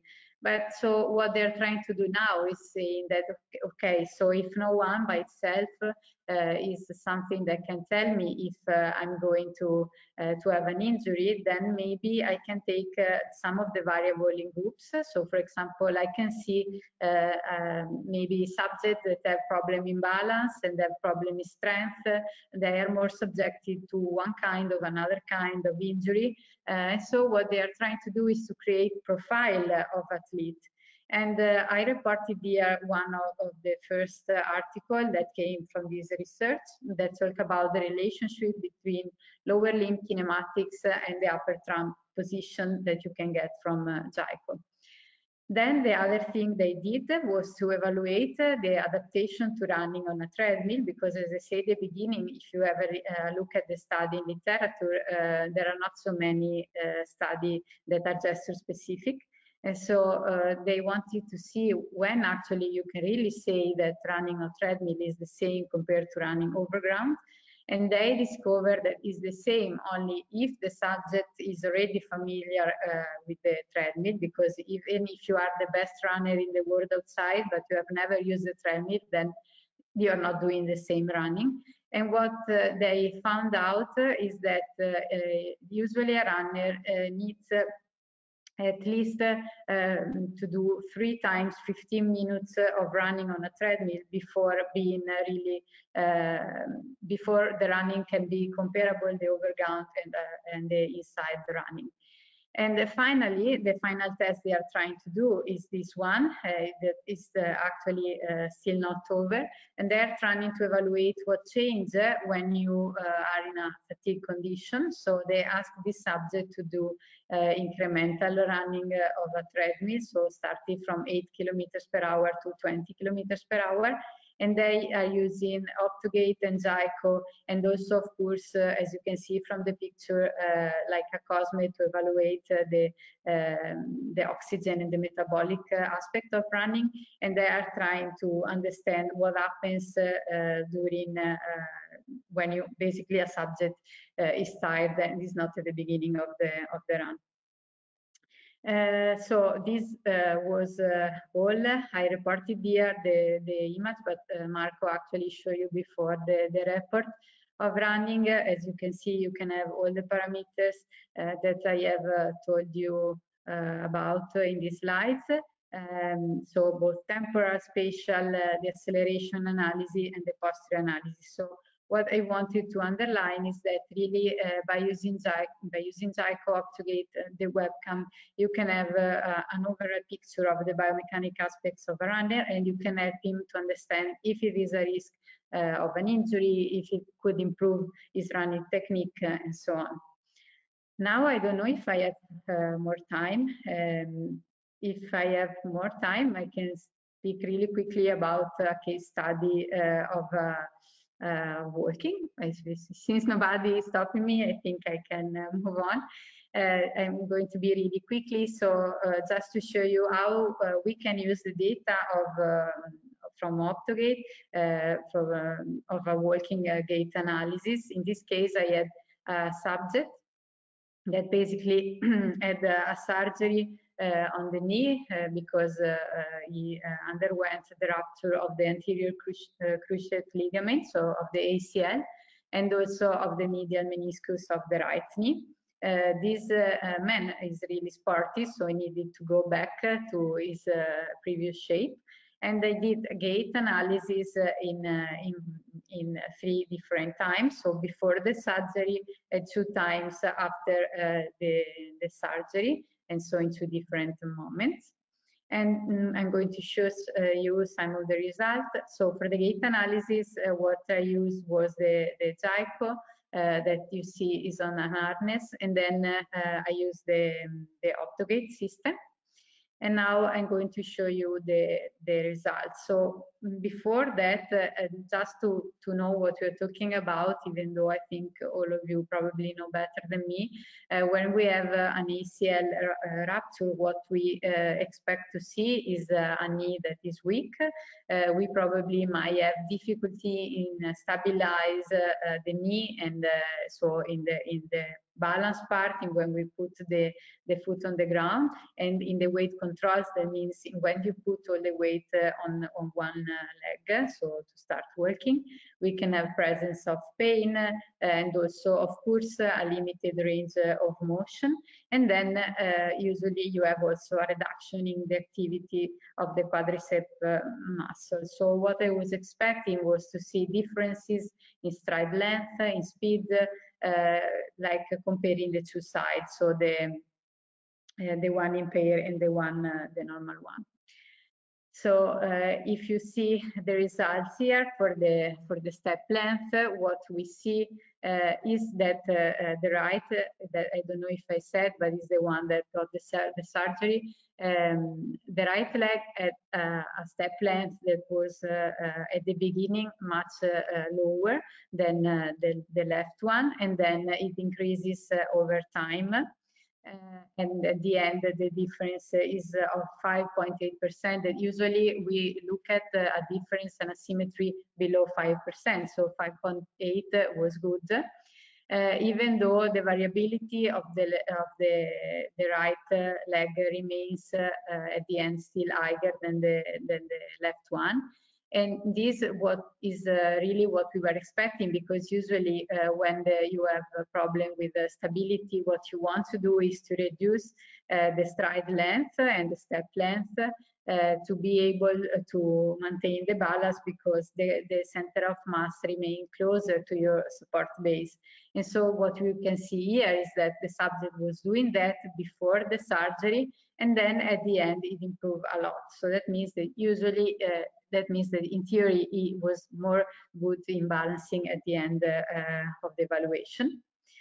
Uh, then uh, what I also evaluate was the average speed uh, when you have a slowdown in walking. Uh, usually uh, it indicates that for you it, it, takes more energy to walk, so it might indicate an increase in energy cost.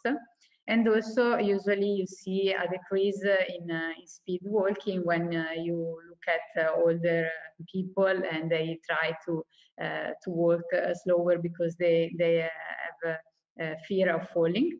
Uh, and so what you see here is that uh, the, the speed was uh, really lower at the beginning before the surgery, and then it increased in the other two times of the evaluation. And actually, at the end, the left and the right were basically the same also in terms of variability. I mean, the difference were never really huge between the two legs, but we see that the subject increase in speed. Uh, then another phase, uh, another data that I evaluated was the loading response phase, because the loading response is the phase very important where the, the aims is to absorb the shock of the contact with the ground, to ensure stability in the weight support phase, to preserve the progression of walking. So it's uh, all activities that could be altered by the ACL rupture and reconstruction. And so what we see here is that uh, at the beginning, of the, the, evaluation, the, the loading response of the right foot was uh, uh, longer than the one of the left foot, and it actually decreased during time. So at the end, the difference between the two legs was still uh, present because we still have 12.5 uh, of difference uh, between left and, and right, but it decreases. So it was, of course, it's a phase where we still need to work at, uh, but uh, the results are uh, promising. And um, and finally, the, the last phase that we evaluate was the pre-swing phase. That is the phase when uh, we move from stance to flight. And so when we need to push forward. Uh, so uh, all the muscles that are that basically need to work for the flight phase um, are related in some way to the knee, to the control of the knee. I mean, not, not all of them, but for example, the, rectus, the rectus femoris or the vastus. And so we could expect some difference. In fact, it was present at the beginning. Uh, and then it also uh, decreased the difference between uh, between the two legs. of course, also in this case, at the end, it, it was not again at a normal level, but it was at least a good direction. Uh, of, uh, of the treatment. Finally, the last thing we could evaluate was uh, the, trunk, the trunk stability, because by using JICO, you have the information of the area of motion and of the movement, the medial lateral anterior posterior movement. And we see that uh, basically uh, the area of motion. So here I have two data because uh, I think the second follow-up they forgot to use the, the JICO for this information. but what we can see is that the area of displacement of the center of, of gravity remains more or less the same. Uh, while uh, it changes the strategy that is is using uh, to stay basically on balance. So in the first um, so um, before the surgery, he was moving a lot anterior posteriorly, so on the back and uh, uh, on mediolateral part, and then uh, this motion uh, decreases a lot, so from uh, around two centimeters to zero point something. So uh, I mean, uh, for the conclusion, these are a lot of conclusion, but what I want to say is that uh, uh, at the end, for example, in this case, the aim of the rehabilitation was to restore the correct activity uh, of the flexor and extensor muscles of the knee. And we were able uh, to do that in some way because like looking at the data that we could collect from Optogate, we had some sort some sort of validation. So we could see uh, the step length was increased, the, the velocity was increased, and so on. So we were uh, quite happy with the data that we get. And this data helped us to uh, quantitatively certify that the training we were doing with this subject was good. Uh, and so uh, this is uh, basically a way we can use JICO and Optogate to, to evaluate a subject objectively. And then um, I just uh, put this slide because we also uh, modify, renew the, the report of uh, GATE together with the one of running. So this is the new, um, the new shape, the new graphic that is going to have. So with this, I, I've done. I mean, I know I said a lot of things. Maybe I went too fast, but I wanted to be able to say everything. So if you have questions, I'm happy to answer. Yeah, thank you, Alessandra. That was a a great presentation. So uh, some uh, good news for us also to learn uh, to analyze our patients or the community who's, who's, doing that like several times a day, doing a running analysis. Uh, maybe have another look at, at, at different parameters you you told us. So it will be for sure interesting to uh, um, get those slides uh, together with the recording so we can have a deeper look into it. Um, I didn't see any questions. Some uh, maybe already took some uh, lunch. I don't know, the hungry ones. Um, but uh, yeah, what do you think? How many people do already work with this combination of Jayco and Optogate um, for running or or for gates? Do you have a lot of feedback already, or is it not many people yet? So I think that maybe Marco can answer to this question because I'm working more in the R&D department. But uh, what I can say uh, from my point of view is that uh, what we tried to do was to make it easier for people to work with both the instrument uh, uh, by using this kind of record. So it was the main reason of changing the graphic of the report. Um, and also uh, what we did was also to make uh, that instruction report that Marco showed before. So where we try to help people to understand how to use the data, of course, uh, for what I say today about injuries, I would need probably three hours of webinar. So uh, what we tried to do was to make a, a summary, a summary for people and uh, and to add them to use them both together. About the number, I don't know. We might ask uh, uh, Marco for that.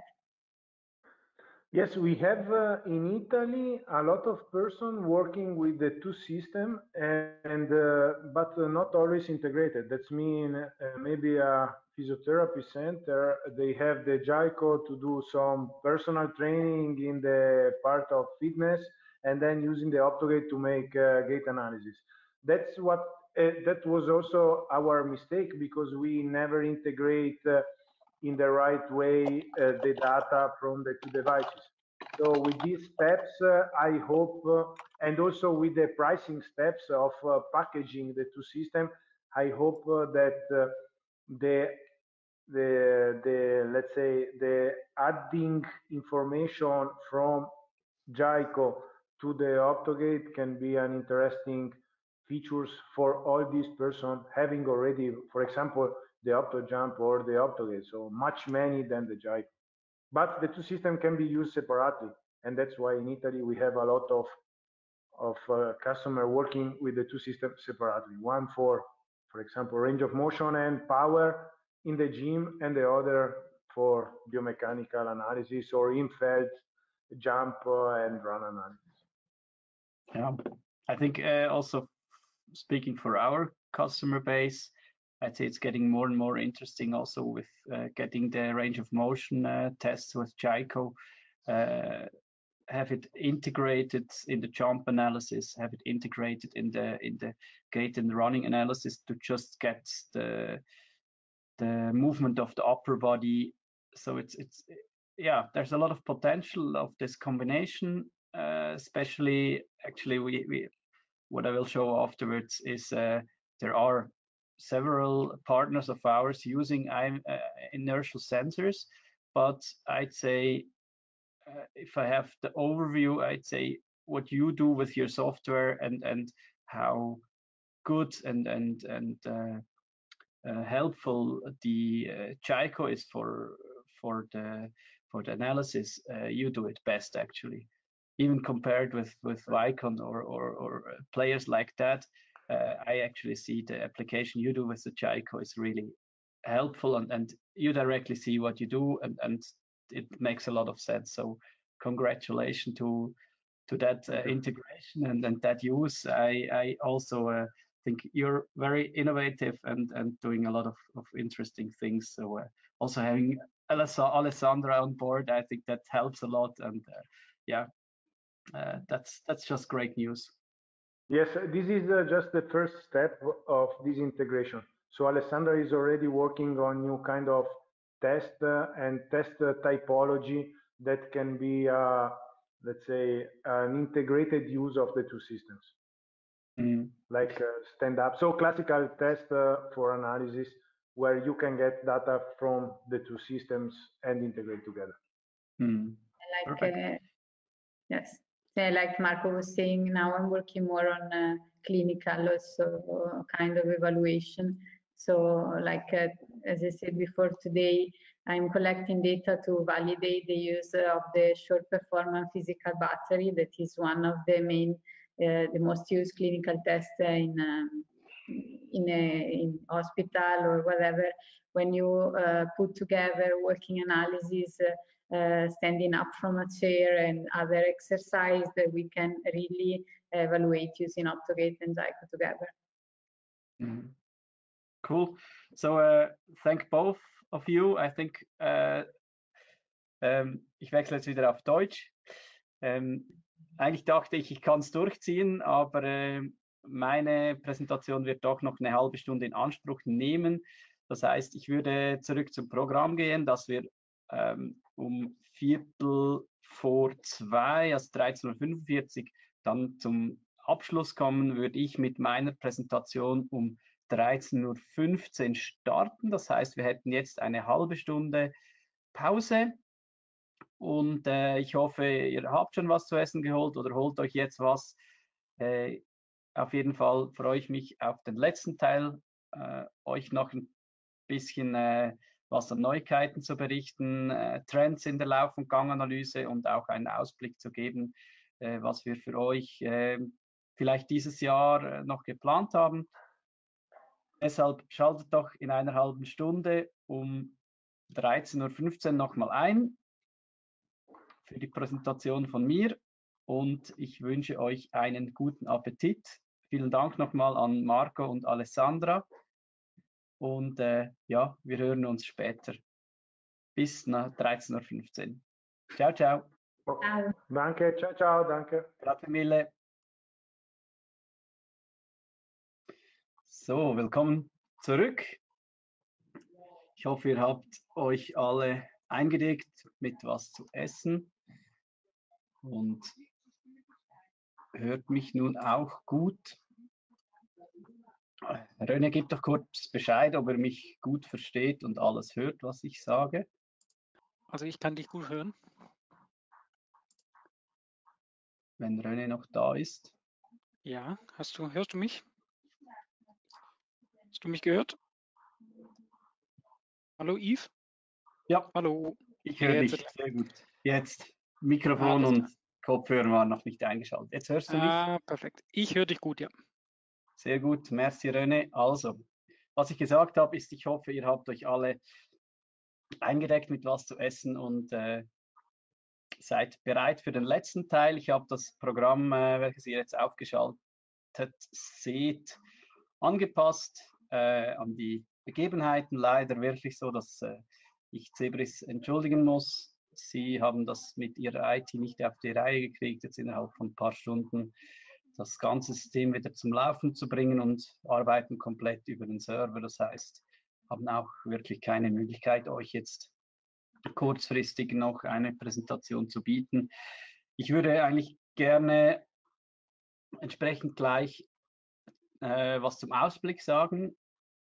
Ich denke, dass wir im Herbst so oder so nochmal ein Webinar oder einen Workshop anbieten werden im Bereich Lauf- und Ganganalyse und auch wieder ein bisschen äh, sehen, wie, wie weit ist das Markless Tracking von, von äh, Contemplas, äh, wie weit ist die Umsetzung von Microgate mit der App und, und den ganzen Reports, was gibt es da für äh, Eindrücke und äh, dann auch Zebris zu Wort kommen zu lassen. Natürlich werde ich euch die ganzen Präsentationen, die ihr jetzt heute gesehen habt und auch die von Zebris, weil die war schon vorbereitet. Gehabt habe ich sie nicht, sonst hätte ich sie vielleicht selber halten können. Äh, das werde ich euch nachliefern, zusammen mit der Aufzeichnung von heute. Die werden wir ein bisschen bearbeiten müssen. Die technischen Pannen wollen wir da natürlich äh, möglichst nicht drin haben. Und Ja, wir, äh, wir möchten da euch äh, auf jeden Fall auf dem Laufenden halten. Kurzfristig ist es so, sobald die neue Templo-Version verfügbar ist und auch die neuen Reports von Optogate, äh, werden wir diejenigen unter euch informieren, welche diese neuen Versionen sinnvollerweise verwenden, weil ihr so, so ein System habt und entsprechend dann auch updaten und äh, unser Support wird euch zu, zur Seite stehen, wenn ihr die ganzen Updates macht. Äh, ist sicher auch immer wichtig, dass ihr äh, kurz eure Datenbank speichert und die dann wieder reinzieht in die neue Version. Also wenn zu dem ganzen, äh, zu den ganzen neuen Versionen Fragen sind, dann schreibt doch auch kurz in die Fragebox äh, was rein, dass ich es dann am Schluss beantworten kann oder Röne gleich eine Antwort schreiben kann euch. Gut, dann würde ich äh, wechseln zu Neuigkeiten und Trends. Und zwar hierhin.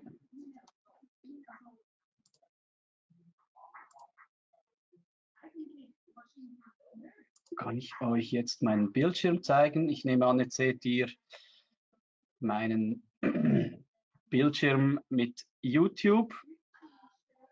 Und hier habe ich eine kurze äh, Videoliste zusammengestellt, wo ich euch ein paar Einblicke in Neuigkeiten und Trends geben möchte. Es geht ein bisschen äh, weg von der klassischen Lauf- und Ganganalyse 2D hinein in eher äh, Themen, die im 3D-Bereich liegen und auch äh, mit instrumentierten Laufbändern funktionieren.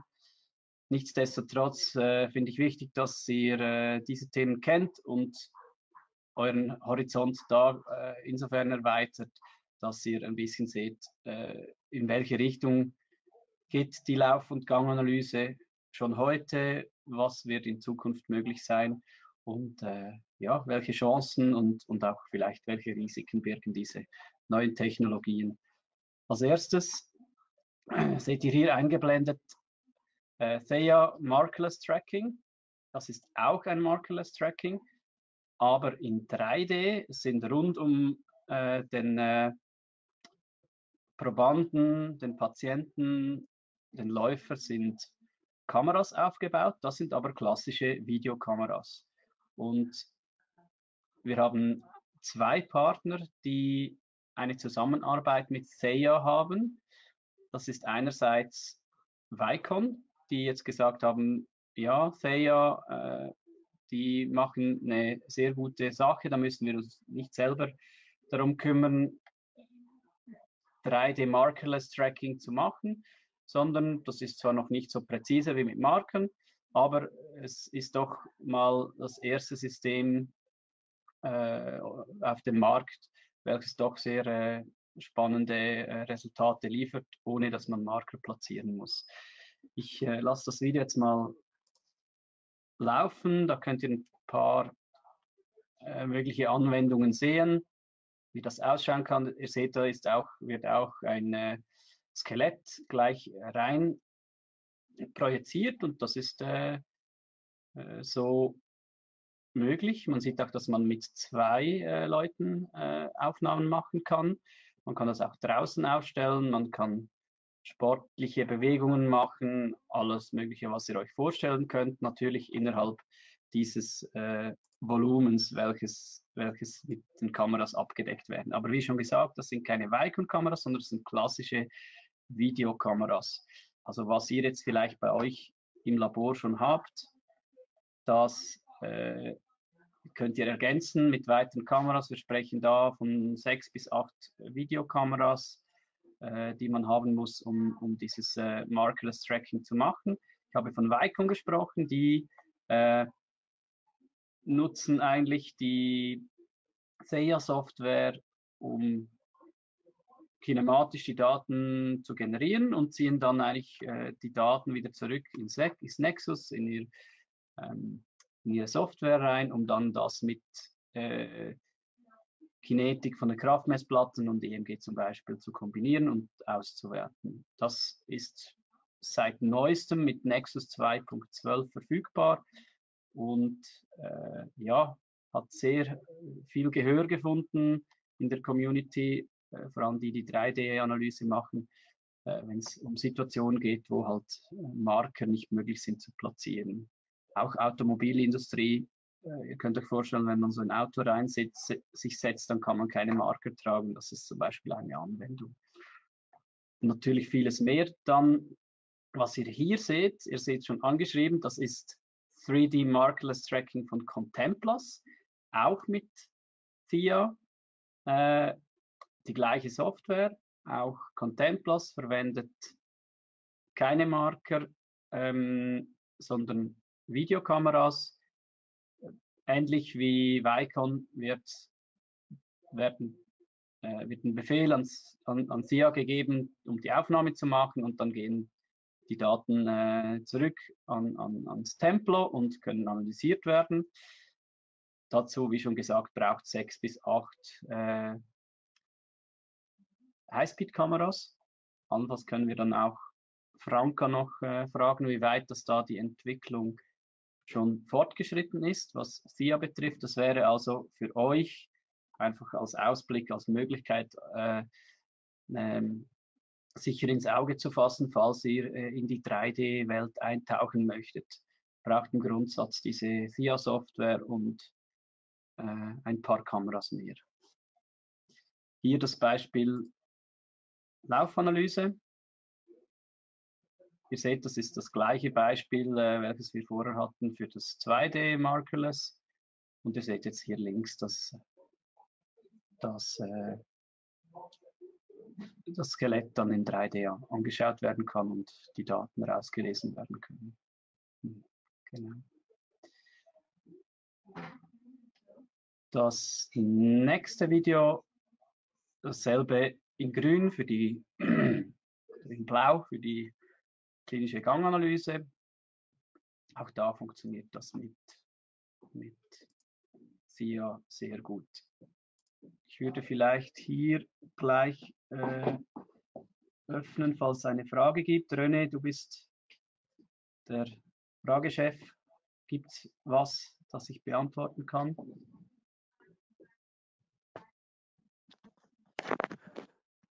Ähm, du müsstest die Fragen wieder mir zuordnen. Ich äh, sehe die nicht.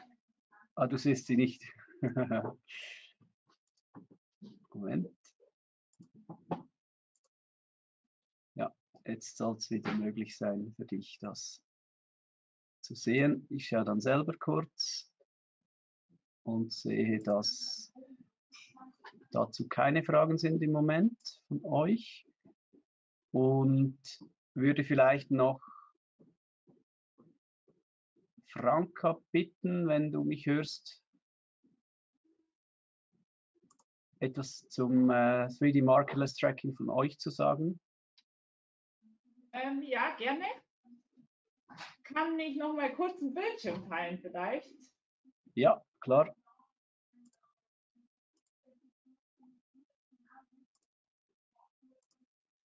Jetzt solltest du das machen können. Äh, zwei Minuten, ob es der richtige ist. Wir sehen dich jetzt von der Seite. Aber das ja, genau, weil ich jetzt am PC drin bin. mhm. ähm, seht ihr den Bildschirm hier? Ja, PDF. Mhm. Genau. Ähm, ja. ja. also wir haben auch die, die SIA-Technologie bei uns eingebunden. Ähm, Templo liefert eigentlich die perfekte Voraussetzung für die Aufnahme von den ganzen Kameras weil wir einfach gewährleisten können, dass wir ähm, eigentlich egal welche Kamera, aber in dem Fall macht es natürlich Sinn, die Highspeed-Kameras komplett synchron aufnehmen können. Haben da, glaube ich, auch einfach ein bisschen mehr Variabilität, weil wir unterschiedliche Kameras einbinden können und können dann die ähm, verschiedenen Kameraperspektiven einfach aufnehmen. Wir haben bei uns ein Setup aufgebaut mit den Kameraperspektiven es ist ganz interessant, weil das geht genau um das gleiche Beispiel, das ich vorher schon in 2D gezeigt habe. Und wir haben da einfach Kameras erweitert. Das heißt, ähm, Kunden, die jetzt schon zwei Kameras haben, zum Beispiel die laterale und die dorsale Ansicht, die können einfach Kameras ergänzen, sodass man zusätzlich mit denen zwei, wo ich eigentlich auch meine 2D-Analyse machen kann, ähm, natürlich dann auch über 3D in die Tiefe oder noch genauer analysieren kann. Heißt also, ich könnte mir eigentlich zum Schluss entscheiden, will ich heute eine 2D-Analyse oder will ich 3D-Analyse. Ähm, wir bieten die, das, die Aufnahmeplattform für das Ganze, ähm, lösen das dann den Befehl eigentlich alles über Templo aus. Es wird automatisch das Tracking gestartet, das passiert alles im Hintergrund. Heißt also, ich muss sie ja nicht eigenständig als Software bedienen, sondern es wird eigentlich nur der Prozess gestartet. Und genau das Gleiche passiert dann über Visual 3D, wo ich automatisch den Report erzeuge. Heißt also, ich klicke für die Aufnahme Start, Stopp in Templo, löse den Befehl aus fürs Tracking und bekomme dann automatisch den Report geöffnet. Mhm. Wie oft äh, wird das schon eingesetzt? Ähm, wir haben jetzt zwei Kunden. Timo, verbessere mich, wenn es nicht stimmt. ähm, zwei Kunden, einer hat erweitert und wir sind aber noch an ein paar Kunden dran, die eben auch schon Templo nutzen mit zwei Kameras und die Interesse haben, einfach das System noch zu erweitern. Mhm. Gut. Ja, das war jetzt äh, spontan, also nicht abgesprochen. Vielen Dank. Äh, Franka, ja, also, wenn ihr da Interesse habt, mehr zu erfahren, was 3D Markerless Tracking äh, ähm, damit möglich ist. Wie schon gesagt, für uns im Moment der Status so, wenn jemand Vicon Videokameras hat, macht es natürlich Sinn, die zu ergänzen und dann Vicon zu nutzen. Wenn jemand Highspeed-Kameras hat und Templo nutzt, macht es natürlich Sinn, äh, sie ja über, äh, über Templo zu nutzen. Entsprechend, äh, wenn ihr da Interesse habt, meldet euch äh, bei mir, damit ich euch entsprechend auch die Informationen zukommen lassen kann. Gut, dann nehme ich äh, die Präsentationsrechte zurück. Ihr solltet jetzt wieder das sehen. Genau, sehr gut. Und ich würde hier weitergehen. Eine spannende Partnerschaft, welche wir ähm, ja, anstreben ist das falsche Wort. Wir äh, sind eigentlich so weit, dass wir diese Partnerschaft äh, äh, veröffentlichen können. Und zwar, einige von euch werden das schon kennen, Xsense, äh, eine holländische Firma, welche ja seit Jahren, also 15 würde ich sagen, 15 Jahren äh, im Biomechanikmarkt äh, oder im Bewegungsanalysemarkt eher ähm, unterwegs ist und welche auch mit, äh, oder nicht auch, aber mit Inertialsensoren äh, arbeitet welche zum Beispiel auch in jedem Handy verbaut sind und die in äh, Anzüge integriert, um halt wirklich frei von irgendwelchen Kameras äh, biomechanische Analysen zu machen, Lauf, Gang, aber auch völlig frei äh, Sportarten und dazu hier das Video.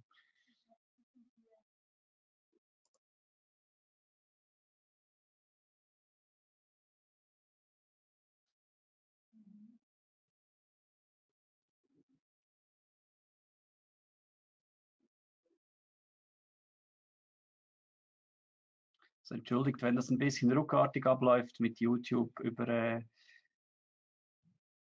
über Streaming-Webinar, äh, ist das natürlich nicht immer schön smooth, aber ich werde euch auch die Möglichkeit geben, dann die ganze Playlist auf YouTube äh, euch anzuschauen. Ich gebe die dann frei. Genau, aber seht hier, dass halt alle möglichen Anwendungen mit diesem Anzug gemacht werden können. Ihr seht auch die orangen ähm, Inertialsensoren und äh, ja, für uns, ich sage mal, nicht unglaublich häufig, aber es gibt halt doch vor allem Sportwissenschaft Anwendungen, die wir nicht im Labor ähm, unterstützen können, sondern äh, wo X-Sense halt einfach ähm, absolut Sinn macht und sie sind Marktführer in dem Bereich. Genau. Und weiter äh, haben wir einen Partner, das ist äh, der Partner im Bereich EMG, Cometa in Italien, ich sage mal, es gibt noch drei Player, die vor allem in Europa unterwegs sind. Comet ist einer davon. Äh, sie haben eine Kombination aus Inertialsensor und EMG, äh, welcher auch für Lauf- und Ganganalyse verwendet werden kann. Haben auch ein, ein spezifisches äh, Reporting dafür. Also wenn ihr euch äh, in der Klinik, in der Therapie, aber auch Orthopädietechnik interessiert dafür, EMG und Bewegungsanalyse auch frei von Kameras äh, zu betreiben, dann wäre auf jeden Fall äh, die Lösung von Cometa möglich. Hier nur ein Exempel-Video, äh, das zeigt, dass äh, Cometa auch wasserfeste ähm, Sensoren bietet ähm, und einige, die unser Cometa-System verwenden, die ähm, die haben sich ein wasserdichtes, äh, die, die, die Sender wasserdicht gemacht, hilft nicht nur, wenn man Wasser misst, sondern das hilft natürlich auch, wenn die Probanden stark schwitzen oder äh, ja, äh, die Sender sehr beansprucht werden bei den Messern. Das ist die Cometa-Lösung. Äh, ihr seht also mit SIA 3D Markerless Tracking für Vicon und Contemplas, äh, dann Xsense und auch unser Partner aus Italien mit EMG und Inertialsensoren. In dem Markerless-Bereich tut sich einiges. Es ist auch, sage ich mal, in den letzten zwei, drei Jahren sehr viel ähm, passiert.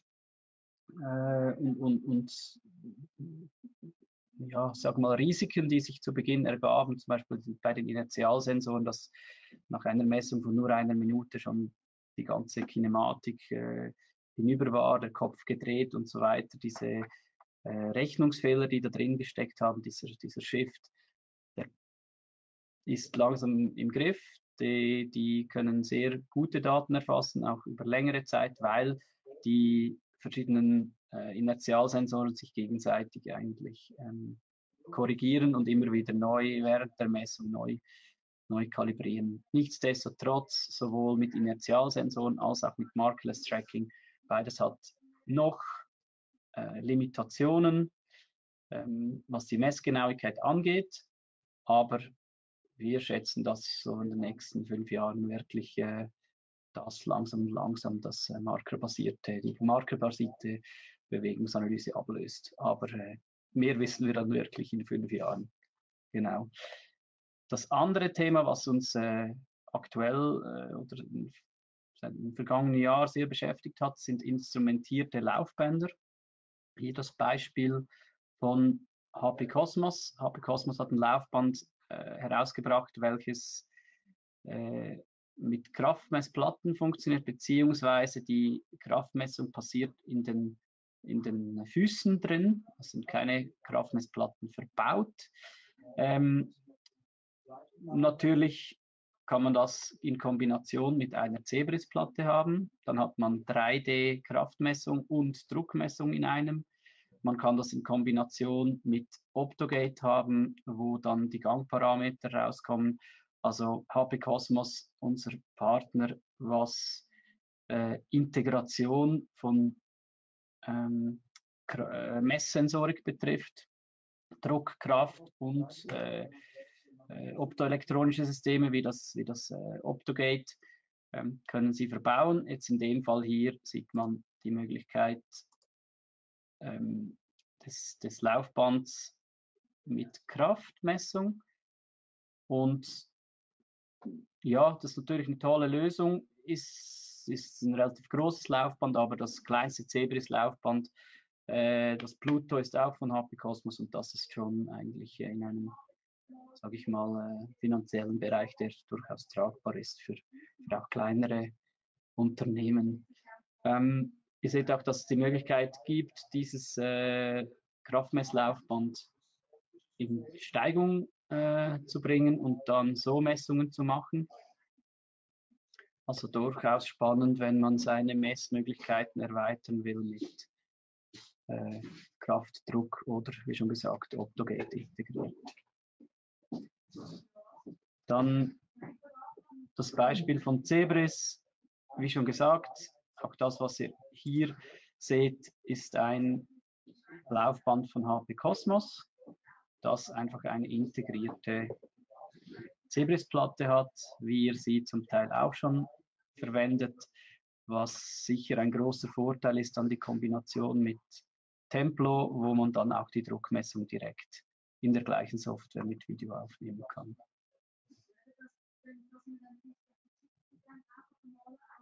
Nach wie vor stellt Zebris natürlich nicht nur äh, Druckmesslaufbänder her, sondern immer noch die altbewährten Druckmessplatten. Und ihr findet übrigens ähm, im Bereich Handouts oder ich weiß nicht, wie das bei euch auf Deutsch äh, allenfalls heißt, da hat es Unterlagen, da habe ich fünf äh, Broschüren hochgeladen, zwei von Microgate, zwei von Zebris und äh, das, was äh, Franco gezeigt hat von, von Contemplas heute. Genau. Gut, das zum Thema Zebris und einfach um so das ganze Thema instrumentiertes Laufband ein bisschen abzurunden. Wir arbeiten seit fünf, sechs Jahren mit der holländischen Firma Motec zusammen, welche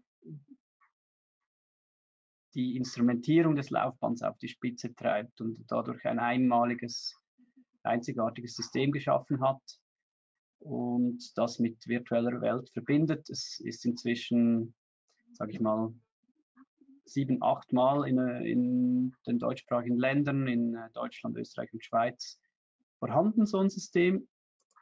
Und ich zeige euch gleich das Video dazu. Und wir äh, haben den Eindruck, dass es nach und nach die, das klassische klinische Ganglabor mit Vicon ersetzen will, wird. Ähm, das Laufband ist äh, mit Split Belt, das heißt, es, ihr werdet es gleich sehen dann,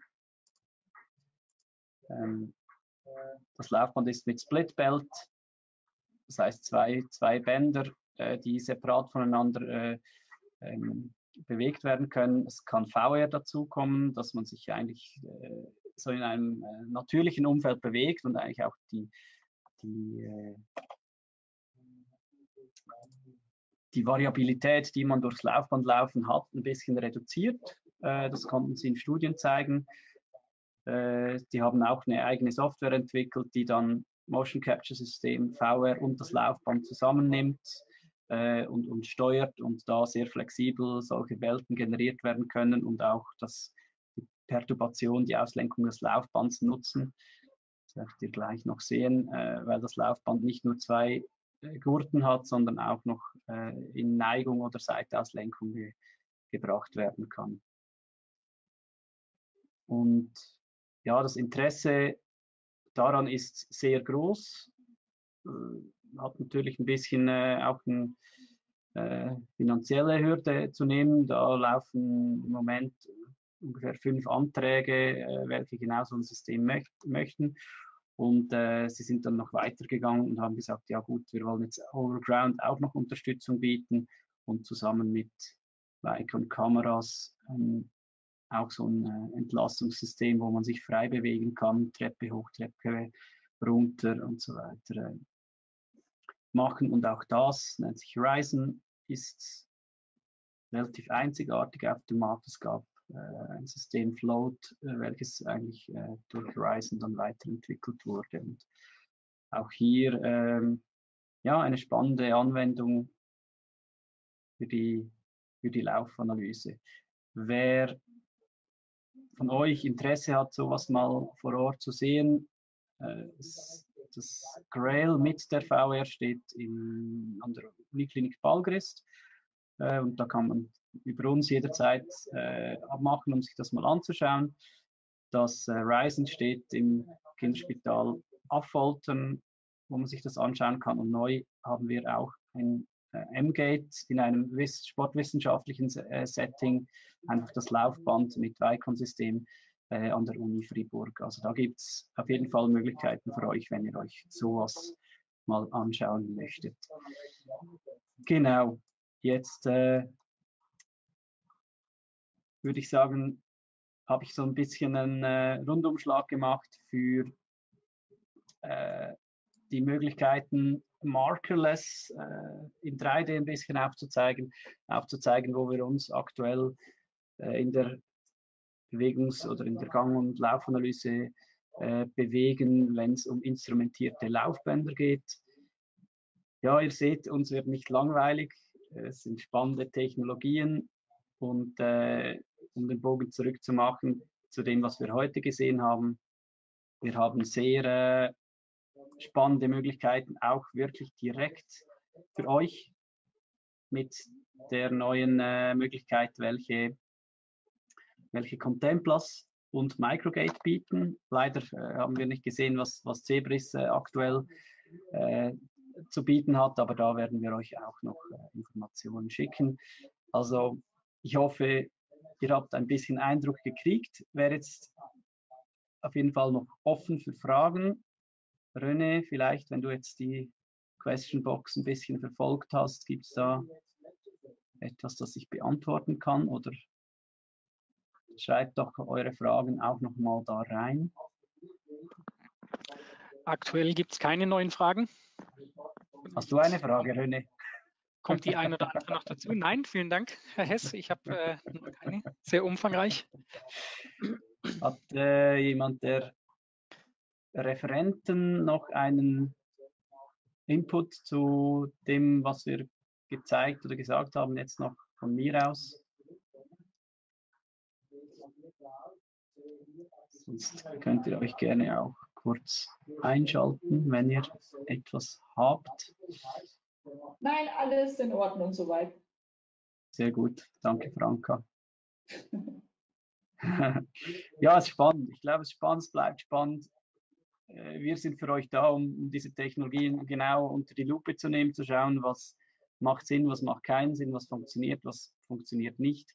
Und äh, ja, also Grundsatz, wenn es um Bewegungsanalyse geht, fragt uns, wenn ihr Fragen habt. Es gibt für alle Budgets, sage ich mal, eine Möglichkeit, sich, äh, sich äh, da etwas herauszusuchen und die ideale Lösung für sich zu finden. Ich glaube, was wir heute gesehen haben, stimmt sehr positiv. Äh, unglaublich, wie Contemplas und, und, und Microgate äh, vorpreschen und wieder neue Standards setzen.